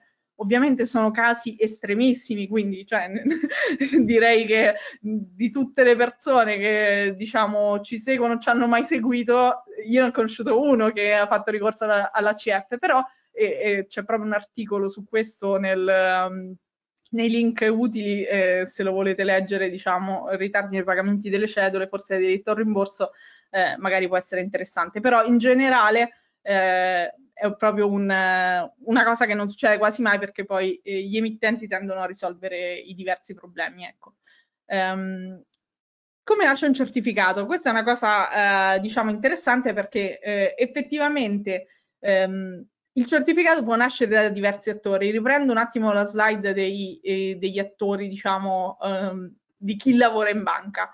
Quindi eh, può partire dall'area commerciale, quindi magari l'area commerciale vede che c'è un bisogno, parla con lo strutturatore e lo strutturatore poi eh, inizia a strutturare i prodotti e, eh, e, poi diciamo con il team di emissione, quindi team eh, fondamentalmente legale che rivede tutta la documentazione, eh, si fa il processo poi per l'application per l'emissione sul eh, mercato regolamentato e poi viene, eh, va a disposizione del, del cliente finale. Um, altrimenti, eh, diciamo, nella maggior parte dei casi può essere proprio la strutturazione a ideare il prodotto sulla base della fase di mercato, quindi a scegliere la struttura e scegliere i sottostanti. Ci sono diversi tipi di emittenti, quindi c'è l'emittente che fa delle grosse emissioni, tutte uguali, quindi struttura identica, dove cambia solo il sottostante, oppure c'è l'emittente che fa tante piccole emissioni tutte diverse, quindi che non hanno magari un, un, un, una, neanche una caratteristica in comune. Quindi eh, ci troveremo di fronte a degli emittenti completamente diversi anche come, come per come nasce e diciamo poi eh, si costruisce il prodotto. Um, una, diciamo, una cosa interessante da sapere è che effettivamente ehm, diciamo, quando poi si pensa il prodotto, non è detto che il prodotto vada al mercato subito, quindi per esempio sui tracker certificate magari hanno un tempo di costruzione un po' più lungo rispetto a un classico cash collect. Quindi poi, diciamo, magari tante eh, idee vanno al mercato in un momento di mercato non buono, no? Perché poi eh, effettivamente magari l'emittente pensa a un qualcosa, inizia a parlarne con la strutturazione così, dopo un mese è cambiato completamente il mercato e arrivano sul mercato dei prodotti che non sono più adatti, diciamo, a quella fase di mercato. E lì starà a noi selezionare e capire se effettivamente l'emittente ha lanciato un qualcosa di interessante che vale la pena seguire e acquistare oppure no. Quindi eh, io questo lo dico perché poi effettivamente eh, diciamo a livello teorico eh, tutti vogliono lanciare i miglior prodotti del mondo, a livello poi pratico non è detto che arrivino sul mercato i migliori prodotti eh, nel momento in cui servono poi. Um, pensiamo anche solamente negli ultimi due mesi con lo scoppio della guerra e quindi l'innalzamento della volatilità, ovviamente un prodotto emesso prima con la volatilità più bassa magari dava un rendimento molto inferiore a, quel, a un certificato emesso semplicemente una settimana dopo o dieci giorni dopo. Dall'altra parte, magari invece certificati emessi subito dopo lo scoppio vicino ai minimi di mercato hanno visto subito i mercati rimbalzare quindi magari uscivano al mercato già a 103, 104, 105 e non erano più acquistabili perché ovviamente il rendimento l'avevano già fatto e, e questo a distanza di due o tre giorni l'uno dall'altro. Quindi trovo prima un prodotto che rende molto meno eh, perché la volatilità è bassa, dall'altra parte un prodotto che è già inacquistabile perché il mercato è già salito. Quindi è, è, è proprio attuale questa, questa problematica. Verissimo. Ehm, poi andiamo a che cos'è un sottostante e ti lascio la parola Alessandro. Perché una volta che appunto i vari soggetti han, hanno pensato, hanno capito la necessità, ovviamente devono capire a scegliere il sottostante su cui, su cui andare poi a costruire il certificato. Il sottostante appunto è l'asset finanziario dal quale deriva il valore del certificato. Abbiamo sempre detto che il certificato si muove in base a come si muove il sottostante, in questo caso il sottostante appunto può essere di varie tipologie, può essere una singola azione oppure può essere un basket di azioni, può essere un indice di mercato proprietario, in questo caso cosa cambia? Un indice di mercato è l'S&P 500, quindi so, un cash collect sull'S&P 500, un indice proprietario può essere invece magari, parlavamo prima dei tracker, eh, un indice che replica l'andamento delle azioni eh, che eh, sono nel mondo dell'acqua, per esempio, o del gaming o dell'idrogeno. Quindi all'interno di questo indice ci sarà chi struttura l'indice che va mensilmente, semestralmente, insomma con intervalli di tempo periodici, a ribilanciare l'indice e a investire su un determinato settore di mercato oppure appunto può essere un'obbligazione, un ETF, una valuta, una materia prima e così via. Quindi come vedete i certificati possono essere fatti praticamente su qualsiasi tipo di sottostante.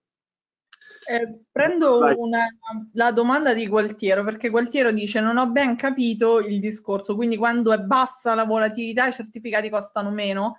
Allora fondamentalmente diciamo la volatilità, eh, diciamo i certificati sono vega negativi, quindi la volatilità va contro, se vogliamo, il certificato. Diciamo un po' un elemento, eh, se vogliamo, negativo per chi ha acquistato, positivo per chi vuole acquistare. Quindi se la volatilità è alta, il, diciamo, il, il prezzo dei certificati già emessi va a scendere, quindi cresce la volatilità, scende il prezzo. I nuovi emessi hanno un rendimento più alto, quindi perché dato che scende il prezzo, quindi aumenta il rendimento sui vecchi, aumenterà anche sui nuovi. Quindi eh, era un po' questo il discorso che abbiamo fatto con Alessandro, quindi nel momento in cui prima dello scoppio della guerra poca, c'era poca volatilità, quindi ipotizziamo che un certificato rendeva il 6% con poca volatilità, scoppia la guerra, c'è tanta volatilità, lo stesso identico certificato di nuova emissione magari dà il 10% e quello vecchio è andato a costare 95 o 94. Eh, se sì, magari appunto c'è un, un picco di volatilità, viene emesso il certificato, magari il certificato rendeva il 15%, quindi 6, 10, 15%, si abbassa la volatilità il giorno dopo, il certificato sale sopra i 100. Non so se è chiaro, ma così Io secondo me... Secondo me il ragionamento va fatto proprio tra certificati già emessi e certificati in emissione, perché su un certificato già emesso l'unica variabile è il prezzo, perché su un certificato già emesso il rendimento, quello è, è il certificato è nato, rende il 10%, l'unica cosa che può variare è il prezzo. Quindi se la volatilità si alza, il prezzo scende. Viceversa, se la volatilità eh, si abbassa, il prezzo sale. E quindi, appunto, in un contesto di volatilità come è stata la guerra, esplode la volatilità, i prezzi dei certificati già a mercato tendenzialmente è sceso. Nel momento in cui la volatilità rientra sui, sui livelli normali, diciamo, il prezzo ovviamente torna dove era prima. Dall'altra parte, invece, su un prodotto che vado a emettere, la variabile è il rendimento, perché l'emissione è sempre fatta a 100. Quindi lì non ho variabile di prezzo, ma ho variabile di rendimento e anche qui il discorso è lo stesso. Volatilità in aumento, oddio, è, è il contrario in realtà, volatilità in aumento, rendimento e quindi cedola in aumento, volatilità in discesa, cedola, cedola più bassa. Quindi sono proprio due momenti diversi. Sul certificato già emesso ragiono sul prezzo, sul certificato in emissione va a impattarmi sul rendimento. Perfetto. E mh, Massimo chiede, bisogna guardare quindi la volatilità del mercato o del, e, o del sottostante, giusto? Diciamo, la volatilità è quella del sottostante, quindi la volatilità prezzata è quella del sottostante. Poi ci può essere, tra virgolette, una volatilità sistemica che influenza quella del sottostante, però la volatilità, quella che tu vedi prezzata nei certificati, è quella del sottostante o dei sottostanti. E se per esempio abbiamo un basket worst off, la volatilità che pesa di più è la volatilità del worst off, quindi del più volatile e se magari è pure il peggiore de- del basket, diciamo è proprio quella che pesa su tutto il basket. Però questa poi è una cosa che magari vediamo nel corso avanzato, però tendenzialmente volatilità del sottostante ci sono, diciamo che ci sono delle situazioni, la guerra, il Covid, eccetera, che riguardano tutto il mercato. Quindi lì è un momento in cui la volatilità è salita su tutti indistintamente poi dal settore, del settore specifico. Ci sono altri contesti in cui magari il mercato mantiene il suo andamento perché è, c'è un singolo evento che riguarda un singolo settore, non so, la crisi dei semiconduttori, una notizia specifica che fa magari perdere tanto, guadagnare tanto solo le aziende del settore dei semiconduttori, allora in quel caso ovviamente si muove magari solo quel, quel tipo di settore e non tutto il mercato. Perfetto. Ecco, il sottostante è sempre specificato nella documentazione, è sempre importante verificare l'effettivo sottostante di un certificato, perché diciamo ci sono diverse, diverse casistiche che abbiamo, che abbiamo riportato eh, ad esempio la possibilità che al posto di un singolo titolo ci sia un, un indice legato, era il caso ad esempio dei, dei, dividend adjust, dove è una tipologia particolare di, di, certificati dove il sottostante non è intesa, ma è un indice che replica intesa al netto del dividendo stimato. Quindi anche qua eh, lo diciamo, poi lo approfondiremo magari nelle, nei prossimi appuntamenti.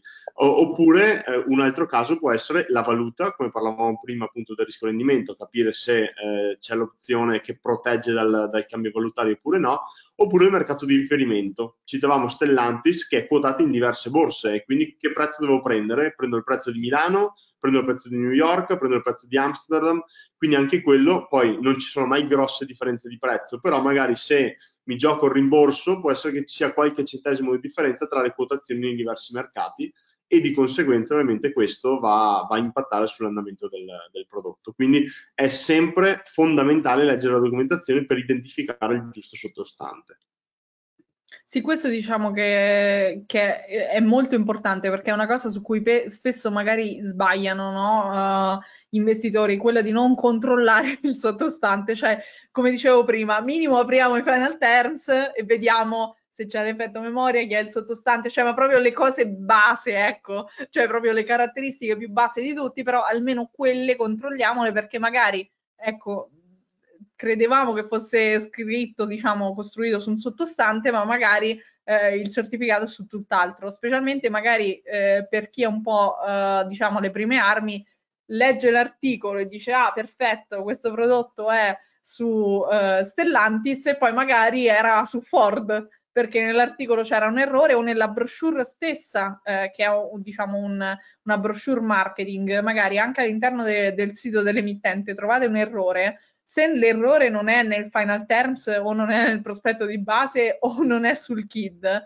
quello non ha valenza quell'errore, non ha valenza legale. Quindi se voi comprate una cosa perché nella brochure c'era scritto Stellantis e poi c'è Ford o poi c'è Tesla, eh, eh, cioè non è che nessuno vi salva da quel punto. Quindi quello che, che succede, succede, è, diciamo, è colpa vostra. Quindi almeno la documentazione legale, almeno sul sottostante. Su.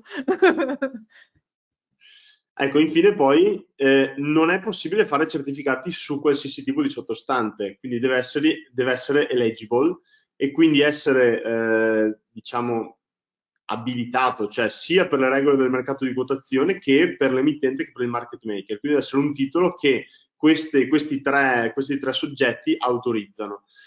E uno dei requisiti più importanti è la liquidità del sottostante, quindi deve esserci la possibilità di trovare tutte le opzioni che mi permettono di costruire poi il certificato. Esempio molto semplice, non troverete mai un, un certificato su un'azione quotata Lime, per esempio, quindi una small cap non ha eh, un paniere di opzioni eh, su cui si può investire e di conseguenza non si può costruire un certificato su quel tipo di azioni. Infatti, se poi andiamo a vedere tutto il range di sottostanti, tendenzialmente sono le aziende che, che sono più scambiate e che hanno più liquidità in tutti, in tutti i diversi mercati.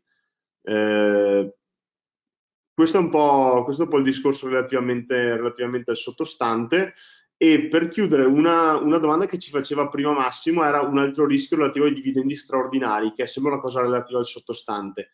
Vero, dall'altra parte però è difficile che un andamento di un certificato mi venga sconvolto dal, dall'erogazione di dividendo straordinario, perché tutto quello che riguarda, ad esempio, processi di fusione, processi di acquisizione, in quel caso poi o di aumenti di capitale, ad esempio il prezzo di strike e il prezzo della barriera vengono rettificati in base al nuovo valore, quindi quelli sono casi che magari dove sì ho delle grosse variazioni di prezzo, dove però il mio certificato non viene, non viene impattato.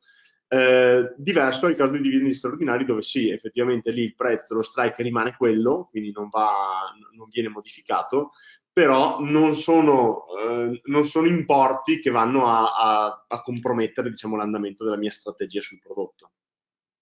E Massimo giustamente dice, eh, vedi magari Azimut, ma una qualsiasi, un, una qualsiasi stock, in prossimità della scadenza di un certificato. Questo secondo me è un fattore importante perché poi potremmo essere così sfortunati da comprare un certificato dove c'è un evento straordinario vicino alla scadenza, vicino magari a un possibile autocall. Quindi in quel caso una cosa che si può fare è sostituire il certificato, cioè uscire da quello vecchio e andare su un certificato magari, diciamo, potrebbe essere più vecchio o più nuovo, ma switchare il certificato proprio perché effettivamente ci possono essere questi, queste problematiche perché in generale no, su tutti gli eventi straordinari c'è una rettifica, ma poi quello che succede in quella determinata data non è detto diciamo che è eh, completamente assorbito da, dalla rettifica. Quindi questo secondo me è una cosa importante proprio perché se magari in quella data hai la scadenza e sei vicino barriera,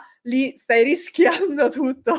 Quindi effettivamente eh, se ne trovano tantissimi in realtà di prodotti così, cioè nella storia ce ne sono tanti, quindi magari eh, state attenti magari sugli eventi straordinari, se avete qualcosa in portafoglio guardate almeno le date, quindi a quel punto riprendiamo in mano i final terms e vediamo più o meno dove sono eh, le, le, date rilevanti.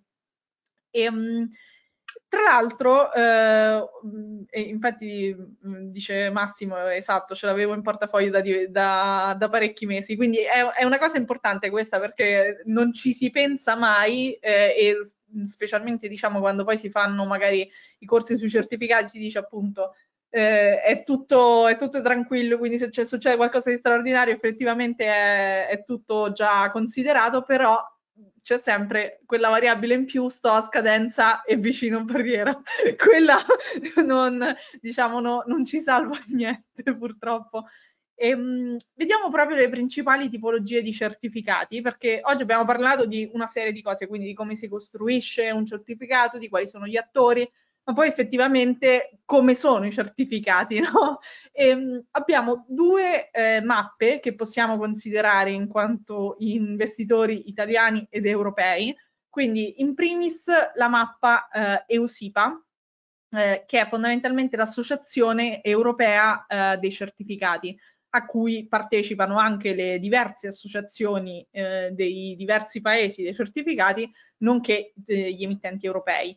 Um, la uh, mappa EUSIPA che cosa fa? Va a prendere tutti i certificati emessi, diciamo, ne, nella storia e va a categorizzarli in alcune categorie principali. Perché il problema dei certificati qual è? E questa la metterei proprio come il problema vero dei certificati, è che ogni emittente, dato che come abbiamo detto eh, gli emittenti vogliono vendere il certificato, che cosa ha dato? Eh, dà dei nomi commerciali, quindi ha una struttura, gli darà un nome che potrebbe essere uguale a, al nome che danno tutti gli altri o diverso, anche se la struttura è la stessa. Quindi se anche il certificato fa la stessa identica cosa di altri certificati che si chiamano in un altro modo, l'emittente potrebbe dargli un nome commerciale diverso. Questo che cosa significa? Che si sono creati negli anni tantissimi nomi diversi che indicano poi effettivamente la stessa cosa. E quindi questo creava un po' ovviamente una barriera nel mondo dei certificati perché chi non era proprio dentro diceva ok, ma io non capisco come funziona questa cosa, è una cosa nuova e magari funzionava esattamente come il prodotto vecchio. Francesca, scusami, oltre a uh, un, una, una, stessa cosa chiamata con tanti nomi diversi, c'è anche il caso contrario, un nome che poi per ogni emittente ha prodotti diversi, quindi sì. sono infinite poi le matrici di incastro di, queste, di questa cosa.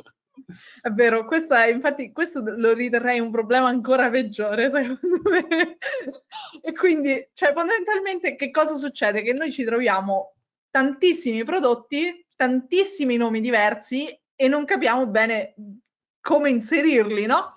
E quindi eh, Eusipa che cosa ha fatto? Ha creato questa mappa in cui ha diviso tra certificati di investimento e prodotti a leva. E nei certificati di investimento ha diviso per i certificati a capitale protetto, che hanno quindi la protezione del capitale. Che cosa significa? Significa che se per esempio eh, io ho un certificato a capitale protetto su Intesa San Paolo con scadenza a 5 anni, significa che tra 5 anni sicuramente a meno che l'emittente non fallisca, mi viene restituita una percentuale del valore nominale. Se il capitale protetto è al 100%, il 100% del valore nominale. Se il capitale protetto è all'80%, l'80% del valore nominale. Quindi io oggi investo 100 in un capitale protetto, sicuramente so che mi viene restituita o 100 o 80 o 50 a seconda della percentuale di eh, protezione del capitale. Oltre a questo, in genere il capitale protetto poi ha un qualcosa in più, quindi potrebbe o pagare un premio o darmi una performance, in genere sempre qualcosa in più, però l'idea appunto è che questi sono tendenzialmente i prodotti più protettivi che avete, proprio perché indipendentemente da quello che ci fa intesa, comunque, a meno che non salti l'emittente, comunque io ricevo almeno quei, quei soldi che sono già determinati nel, nel, nostro contratto che è appunto in final terms. Um, e poi eh, Eusipa non chiama, come vedremo poi, eh, ce- diciamo la mappa CEPI, che è quella dell'Associazione Italiana dei Certificati di Investimento, non li chiama capitale condizionatamente protetto, ma li chiama yield enhancement. Quindi la seconda categoria sono i certificati yield enhancement. Che cosa significa? Yield è rendimento, enhancement è ottimizzazione. Quindi sono quei certificati che ottimizzano il rendimento, quindi che ci danno un po' più di rischio rispetto al capitale protetto, ma ci danno un po' più di rendimento, quindi che hanno un connubio rischio-rendimento migliore, mettiamola così. Quindi questi certificati ACEPI, quindi Associazione Italiana di Certificati di Investimento, li chiama capitale condizionatamente protetto. Che cosa significa? Che prima noi sapevamo che per certo prendevamo dei soldi, il, ipotizziamo appunto il 100% del, del nostro investimento, quindi del valore nominale. Nel capitale condizionatamente protetto, che cosa ci dice il prodotto? Ci dice se intesa ha per esempio una barriera di protezione del 50%, quindi un certificato con barriera di protezione 50% significa che se intesa non scende di più del 50%, noi riprendiamo i 100 e quindi è come se fosse un capitale protetto. Se invece scende più del 50%, noi è come se avessimo l'azione quindi iniziamo a perdere. Quindi se per esempio Intesa fa meno 60, noi ci troviamo un 40% di valore nominale, quindi investiamo 100, se Intesa non scende più del 50, bene, riprendiamo i 100. Se Intesa scende di più del 50, ad esempio fa meno 60, noi riprendiamo 40, investiamo 100 e riprendiamo 40, oppure investiamo 100 e riprendiamo 100. Però qual è l'idea? È che qui effettivamente invece magari di darci un rendimento minimo, come il capitale protetto, qui i rendimenti possono essere interessanti, magari del 5, del 10, del 15, del 20, del 30, anche del 50%. Quindi il certificato a capitale condizionatamente protetto dà un valore di rendimento molto più elevato rispetto al capitale protetto. E poi ci sono i certificati a partecipazione, cioè quelli principalmente sono i tracker certificate e quelli che linearmente uno a uno vanno a replicare il nostro sottostante. Oppure possono essere, diciamo, i discount, quindi diciamo ci sono delle, delle altre tipologie, ma fondamentalmente poi dedicheremo proprio una puntata per ogni tipologia di, eh, di prodotto, però l'idea è appunto che sono degli strumenti lineari, quindi vinco se quindi guadagno se il sottostante sale, perdo e quindi eh, diciamo vado a registrare una perdita se il sottostante scende. Quindi non ho protezione del capitale. E poi ci sono le credit link notes che sono un po' più complesse, che sono proprio legati diciamo a un evento di credito, quindi se non si verifica un evento di credito o il, eh, sono un po' più simili allo yield o i capitali condizionatamente protetto, quindi se non si verifica una certa cosa io prendo i premi e eh, prendo il capitale a scadenza e questi poi li approfondiamo proprio in, in una puntata dedicata. E poi nei prodotti a leva mette i certificati a leva fissa, i prodotti con knockout e i prodotti senza knockout. Vediamo proprio la mappa eh, dove avete il, eh, il link all'interno delle slide. Questa è la mappa EOSIPA e come vedete c'è eh, la mappa europea e eh, di tutti i diversi paesi che aderiscono a, diciamo, eh, europea, quindi tra cui eh, ovviamente eh, l'Italia. E qua eh, vedete anche poi dei grafici, se ve li volete vedere magari poi anche con calma, delle diverse eh, tipologie. Quindi come abbiamo detto, i capitale protetto, il denhancement, che appunto in Italia vengono chiamati prodotti a capitale condizionatamente protetto, questa mappa vi può essere utile se per esempio eh, diciamo un giorno investirete in un altro mercato. Quindi se vi trasferite per esempio in Svezia e non sapete come si chiamano i condizionatamente protetti, lo trovate direttamente da questa mappa. Una cosa diciamo da, da sapere che magari non è utile a tutti, ma magari a qualcuno sì. E, ehm, e, ehm, mentre sulla mappa CEPI, eh, come abbiamo detto, abbiamo a differenza di USIPA lo yield enhancement diventa il capitale condizionatamente protetto. Um, abbiamo quindi capitale protetto, capitale condizionatamente protetto e capitale non protetto e in più le credit link note. Uh, nel caso degli strumenti a leva invece non dividono, eh, quindi la mappa CEPI non divide come leva fissa knockout, con knockout e senza knockout, ma eh, ci dà tutti i prodotti. E vediamo anche la mappa eh, a CEPI che si scarica direttamente da qui.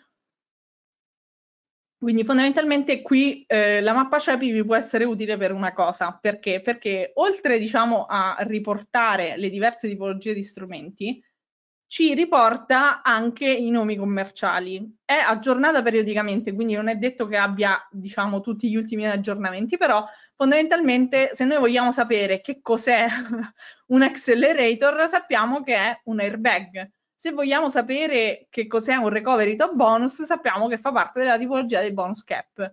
Quindi, come vedete, effettivamente diciamo, possiamo chiamare i prodotti in tantissimi sì, modi diversi. Ci sono 100 tipologie, per esempio. Esatto, quindi fondamentalmente, allora diciamo che ovviamente per esempio ognuno ha delle diverse caratteristiche, lock-in per esempio è una categoria, uh, low strike è un'altra categoria, però fanno parte tutti della tipologia cash collect.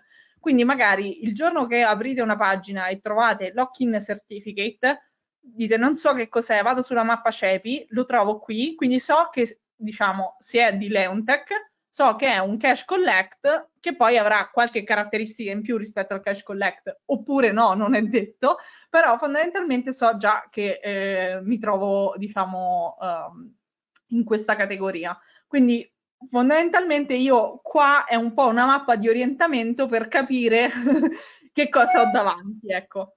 Um, nel caso ovviamente no, non lo conoscessi prima. Eh, vi faccio degli esempi proprio di eh, strumenti, quindi come abbiamo visto, il capitale protetto, condizionatamente protetto e non protetto, e poi i credit link note li, li vedremo separatamente perché sono, diciamo, una, una, piccola nicchia di mercato e sono un po' più adatti magari per eh, gli investitori con un profilo eh, diciamo un po' più istituzionale. Eh, però possono essere molto interessanti magari anche in futuro se, se poi questo mercato si svilupperà anche eh, su investitori eh, diciamo al dettaglio. Partiamo con un capitale protetto reale ehm, che è costruito sull'indice Eurostox 50. Eh, in questo caso è un capitale protetto con emittente Barclays, quindi il rischio emittente, quindi il rischio che il capitale protetto, che ha una protezione del capitale del 100% in euro, e attenzione perché l'anticapitale protetto ce l'hanno in dollari e ho fatto molta fatica a trovare un capitale protetto 100% in euro sotto la pari, era quasi impossibile, però l'ho trovato. Quindi fondamentalmente qui che cos'è?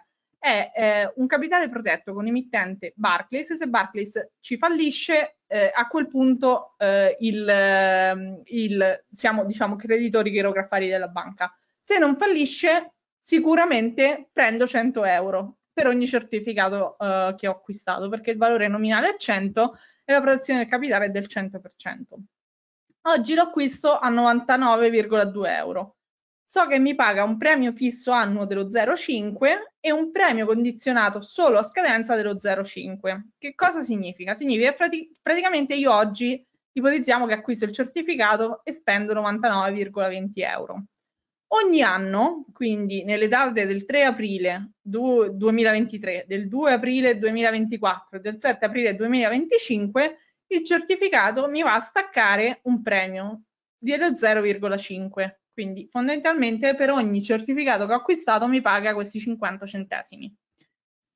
Eh, a scadenza 7 aprile 2025, quindi tra tre anni, mi rimborsa, a meno che non è fallita Barclays, 100 euro, 0,5 euro che era il premio fisso, più un qualcos'altro che è un premio condizionato. Quindi come nei capitali condizionatamente protetto la protezione era condizionata, qui il bonus è condizionato.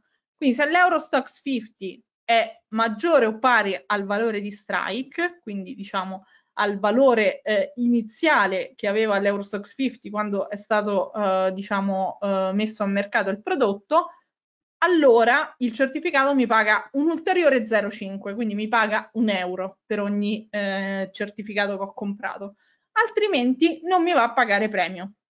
Quindi questo è un certificato che per esempio eh, diciamo ha una scadenza corta, non se ne trovano tantissimi in genere, andiamo diciamo al 2030, però questo è un certificato che io diciamo vado ad acquistare sapendo che minimo, a meno che appunto Barclays non fallisce, minimo mi restituisce 100. Quindi io già per esempio oggi lo compro sotto eh, la pari, già so che ho un minimo di rimborso. Cosa diversa... Okay. Sicuramente, sicuramente li prendo i 100 che ho investito in ogni caso, prenderò 0,5, 0,5, 0,5 in ogni caso. L'unica condizione appunto è quello 0,5 aggiuntivo che prenderò se l'Eurostox è sopra il livello iniziale però diciamo che ho quasi tutto certo, l'unica variabile appunto è quello 0,5 aggiuntivo. Esattamente, quindi diciamo questo per esempio è un investimento che possiamo paragonare a un'obbligazione, diciamo proprio a livello di rischio, proprio perché abbiamo il premio fisso, un piccolo premio variabile a scadenza tra tre anni e eh, un emittente di alto livello, quindi eh, diciamo con eh, rating elevato. Altro caso invece è eh, un cash collect eh, dove abbiamo tre sottostanti, BPM intesa Unicredit bancari, eh, che acquisto a 100,8 euro, quindi sopra la pari, e che mi paga un 16,68 annuo con barriera premio e di protezione del capitale al 60%. Quindi in questo caso è un capitale condizionatamente protetto, quindi se i sottostanti tutti i sottostanti non scendono di più del 40%, riprendo 100 euro. Quindi facciamo un esempio concreto. Oggi io acquisto il certificato e pago 100,8 euro. Quindi io già stavo pagando 80 centesimi sopra il valore nominale. Ogni mese vado a vedere BPM intesa Unicredit e vedo se sono scesi di più del 40% rispetto alla foto iniziale, al valore di strike. Se sono scesi, non prendo niente. Quindi se sono scesi, sto tranquilla che non riceverò niente. Se non sono scesi, il certificato mi paga 1,39 euro al mese. al mese. Quindi abbiamo visto prima uno 0,50 annuo, qui 1,39 al mese, quindi ovviamente capiamo che il rischio è molto più alto. Um, grazie a una cosa che si chiama effetto memoria, che poi vedremo anche prossime, eh, nei prossimi appuntamenti, se io oggi non prendo il premio, perché per esempio BPM è scesa di più del 40% del valore di strike, in quel caso il premio viene conservato in memoria. Quindi ogni mese rivado a rifare la foto, basta che effettivamente in uno dei mesi successivi tutte e tre le azioni BPM intesa Unicredit sono sopra il livello di barriera, quindi il livello di barriera premio appunto, quindi non sono scese più del 40% rispetto allo strike, quindi magari è risalita leggermente BPM in questo caso, e mi, vie- mi viene pagato il premio del periodo e tutti i premi che non mi sono stati pagati. Quindi se per esempio per un anno non mi sono stati pagati dei premi che eh, ammontavano a 16,68 euro, quando poi effettivamente si verificano le condizioni per pagare il premio, mi vengono ripagati 16,68 euro più il premio di 1,39 euro. Quindi questa è una condizione, diciamo, interessante, quella del, dell'effetto memoria. Inoltre, eh, i certificati a capitale condizionatamente protetto in genere hanno il cosiddetto autocall. Che cosa significa? Che hanno la possibilità di rimborsare anticipatamente il capitale, che è una cosa che deve essere vista come una cosa buona. Perché? Perché fondamentalmente da settembre, se BPM intesa e Unicredit non sono scese, quindi o sono salite o sono rimaste ai valori iniziali, in quel caso il certificato mi può scadere e rimborsare 101,39 euro.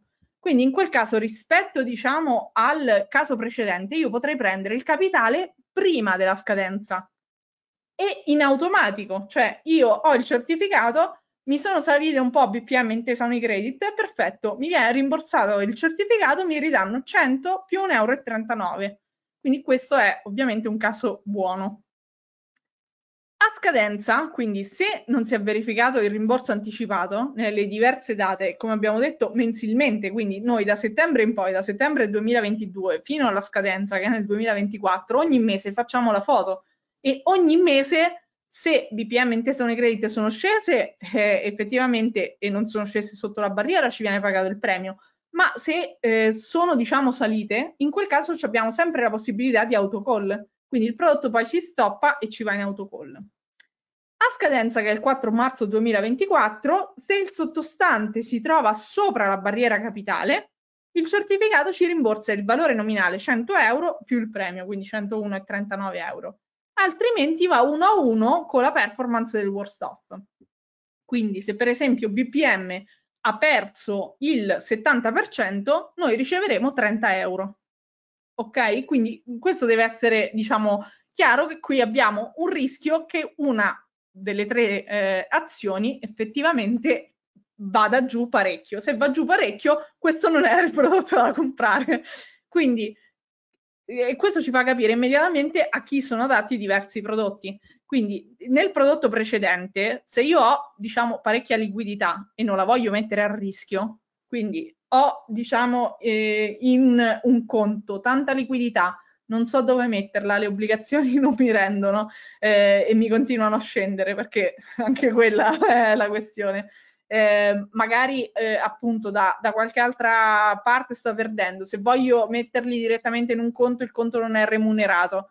A questo punto posso dire ok, eh, mi vado a prendere un prodotto um, come un capitale protetto che comunque mi paga il mio premio, che comunque me lo vado a comprare sotto la pari e scade tra poco, mm, relativamente poco, quindi nel 2025, e eh, ho, diciamo, eh, ho, eh, ho, fatto diciamo, una scelta efficiente per la liquidità che avevo. Se invece io sono magari eh, ho una view rialzista su queste azioni, su BPM intesa Unicredit, invece di comprarmi le azioni posso dire mi vado a comprare un certificato che mi dà un 16,68 l'anno che comunque ha un buon rendimento e che nel caso in cui le azioni scendono io non ci vado a perdere perché finché non mi scendono di più del 40% il certificato mi va a pagare il premio e a scadenza mi rimborsa. Quindi se effettivamente ho una view in cui le azioni non salgono del più 200% perché in quel caso mi conveniva comprare le azioni, ma neanche scendono del più 100%, e allora in quel caso il capitale condizionatamente protetto è appunto un prodotto yield enhancement, quindi che mi ottimizza uh, il rendimento. Ultimo esempio è il tracker certificate, quindi per esempio qua abbiamo un tracker certificate che si acquista a 77,70 che è un certificato costruito su una strategia di investimento in certificati, il cosiddetto certificato di certificati che replica appunto la performance del sottostante, che è un indice costruito su uh, un basket di certificati, al netto ovviamente la replica non è, è uno a uno al netto della commissione di gestione di performance. Quindi questo è un certificato che per esempio ci permette di acquistare una strategia che non avremmo potuto acquistare eh, in altro modo, perché magari se vogliamo investire 200 euro sui certificati non possiamo diversificare il portafoglio, l'unico modo è comprare un tracker eh, che ha dentro più certificati che viene gestito uh, attivamente. E, ah, scusami, sì. riprendo due, due, domande che ci sono. La prima di Michele che ci dice ovviamente più rendimento uguale più rischio relativamente al discorso capitale protetto o non protetto. Sì Michele, questo però è un assioma che non riguarda solo i certificati ma riguarda tutto il mondo degli investimenti. Tendenzialmente in qualsiasi tipologia più eh, rendimento viene, viene erogato perché garantito è, è, una parola che difficilmente si può mettere a fianco a rendimento. Più rendimento c'è e più rischio c'è, questo vale, questo vale sempre. Non esiste eh, il rendimento elevato e garantito e, e, se te lo propongono è una truffa, staci, staci lontano. Tendenzialmente appunto questo sempre negli investimenti è così. Un, un'azione può rendere molto di più di un'obbligazione, sì, ma il rischio ovviamente è molto più elevato. Nel mondo dei certificati, tra protetto e non protetto, è, è, la, stessa, è la stessa cosa. Invece Paolo ci chiede relativamente a un ISI come è possibile che un certificato protetto al 90% sull'Eurostock Select Dividend oggi quoti 8,34. Qui la risposta è data da tre fattori. Il primo è il rating dell'emittente, che è il rating, l'emittente con il rating più basso tra quelli che, che quotano sul mercato, che è AAA B-. La seconda, la, seconda, la seconda, risposta è il tempo, perché la scadenza è 2027, quindi è molto molto lontano, di conseguenza sui capitale protetto tendenzialmente più è lontano il, la scadenza del prodotto e più il prezzo viene penalizzato. La terza è il sottostante, che oggi quota, ancora ho visto, il 12% sotto, eh, sotto lo strike, di conseguenza quindi sono sotto al mio, al mio capitale di protezione. Quanto mi rimborserebbe oggi? Mi rimborserebbe il 90%.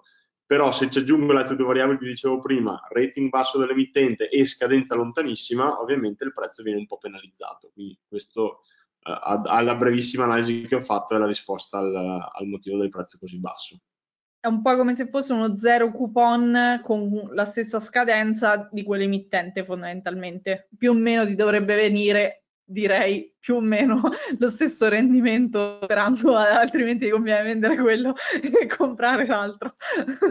Quindi que- questa è un po' l'idea. Effettivamente quello che si vede sui capitale protetto ehm, ehm, questa cosa la trovate anche sul um, sito di Ufinance. Quindi se andate sul sito di Ufinance c'è un um, e vi faccio vedere come arrivare perché forse è la cosa uh, più semplice. Eh, se andate qui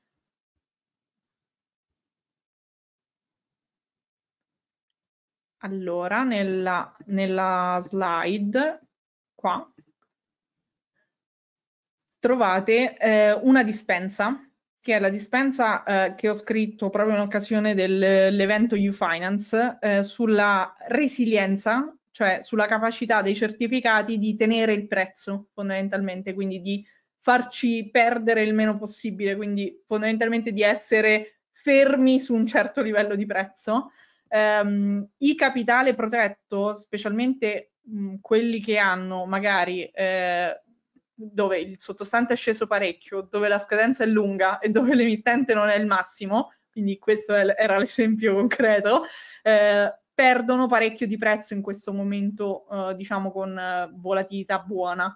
Quindi eh, in questo momento acquistare magari un capitale protetto di un emittente buono su un indice che può recuperare può essere un qualcosa di una buona idea perché in questo momento eh, diciamo quelli sono i prodotti che tendenzialmente scenderanno di meno se ci fosse un ulteriore shock di volatilità, ma sono anche quelli che tenderanno a salire un po' più velocemente, quindi fondamentalmente possono essere interessanti. Ovviamente anche questo potrebbe essere un prodotto interessante, sempre da, da comparare magari se c'è appunto un, eh, uno zero coupon bond dell'emittente più o meno con scadenza simile e capire se il rendimento eh, è, è, coerente. Ecco. Um, e, e, trovate qui la dispensa e vi ricordo ovviamente che il 14 aprile alle 14.30 eh, abbiamo proprio un webinar dedicato ai certificati, magari proprio per chi eh, non è alle primissime armi, questo potrebbe essere utile, ma in generale magari anche eh, sentirsi un po' di contenuti avanzati può essere eh, sempre un, uno spunto in più. Ehm, e eh, il 22 aprile eh, a Rimini c'è l'evento speciale di Ufinance, è un evento in presenza, quindi per chi magari fosse in zona o volesse venire a, a, Rimini a farsi il weekend perché poi è, è venerdì, eh, può essere un evento utile. Ovviamente io partecipo su un panel ehm, eh, diciamo con altri relatori, ma ci sono poi tantissime altre conferenze, vi potete, potete proprio scoprire il programma e iscrivervi all'evento. Eh, il prossimo appuntamento è il 27 aprile, quindi eh, diciamo ci vediamo dopo Pasqua eh, e quindi vi auguro una buona Pasqua, ne approfitto. Per qualsiasi domanda, quindi se eh, effettivamente oggi magari abbiamo dato una serie di informazioni da digerire, poi mi venissero delle domande. Eh, come sempre vi ricordo che abbiamo il gruppo Facebook Free Finance Certificati di ETF dove potete fare le domande che oggi non avete fatto o eh, magari eh, anche di approfondimento su dei temi che volete richiedere che magari non riuscite a, a, comprendere bene sui certificati e magari li approfondiamo in modo un po' più semplice eh, rispetto a, a diciamo, i corsi standard e quindi questo vi può aiutare. Come sempre poi eh, abbiamo il sito web, Telegram, canale YouTube, eh, eccetera. Io ringrazio ovviamente Alessandro che eh, mi accompagna in questo percorso, anche in questo percorso. Grazie mille Ale. Grazie, grazie a te Francesca, è sempre un piacere. E ringrazio tutti voi che avete partecipato fino, fino a tarda ora e, e buona serata a tutti. Buona serata, arrivederci.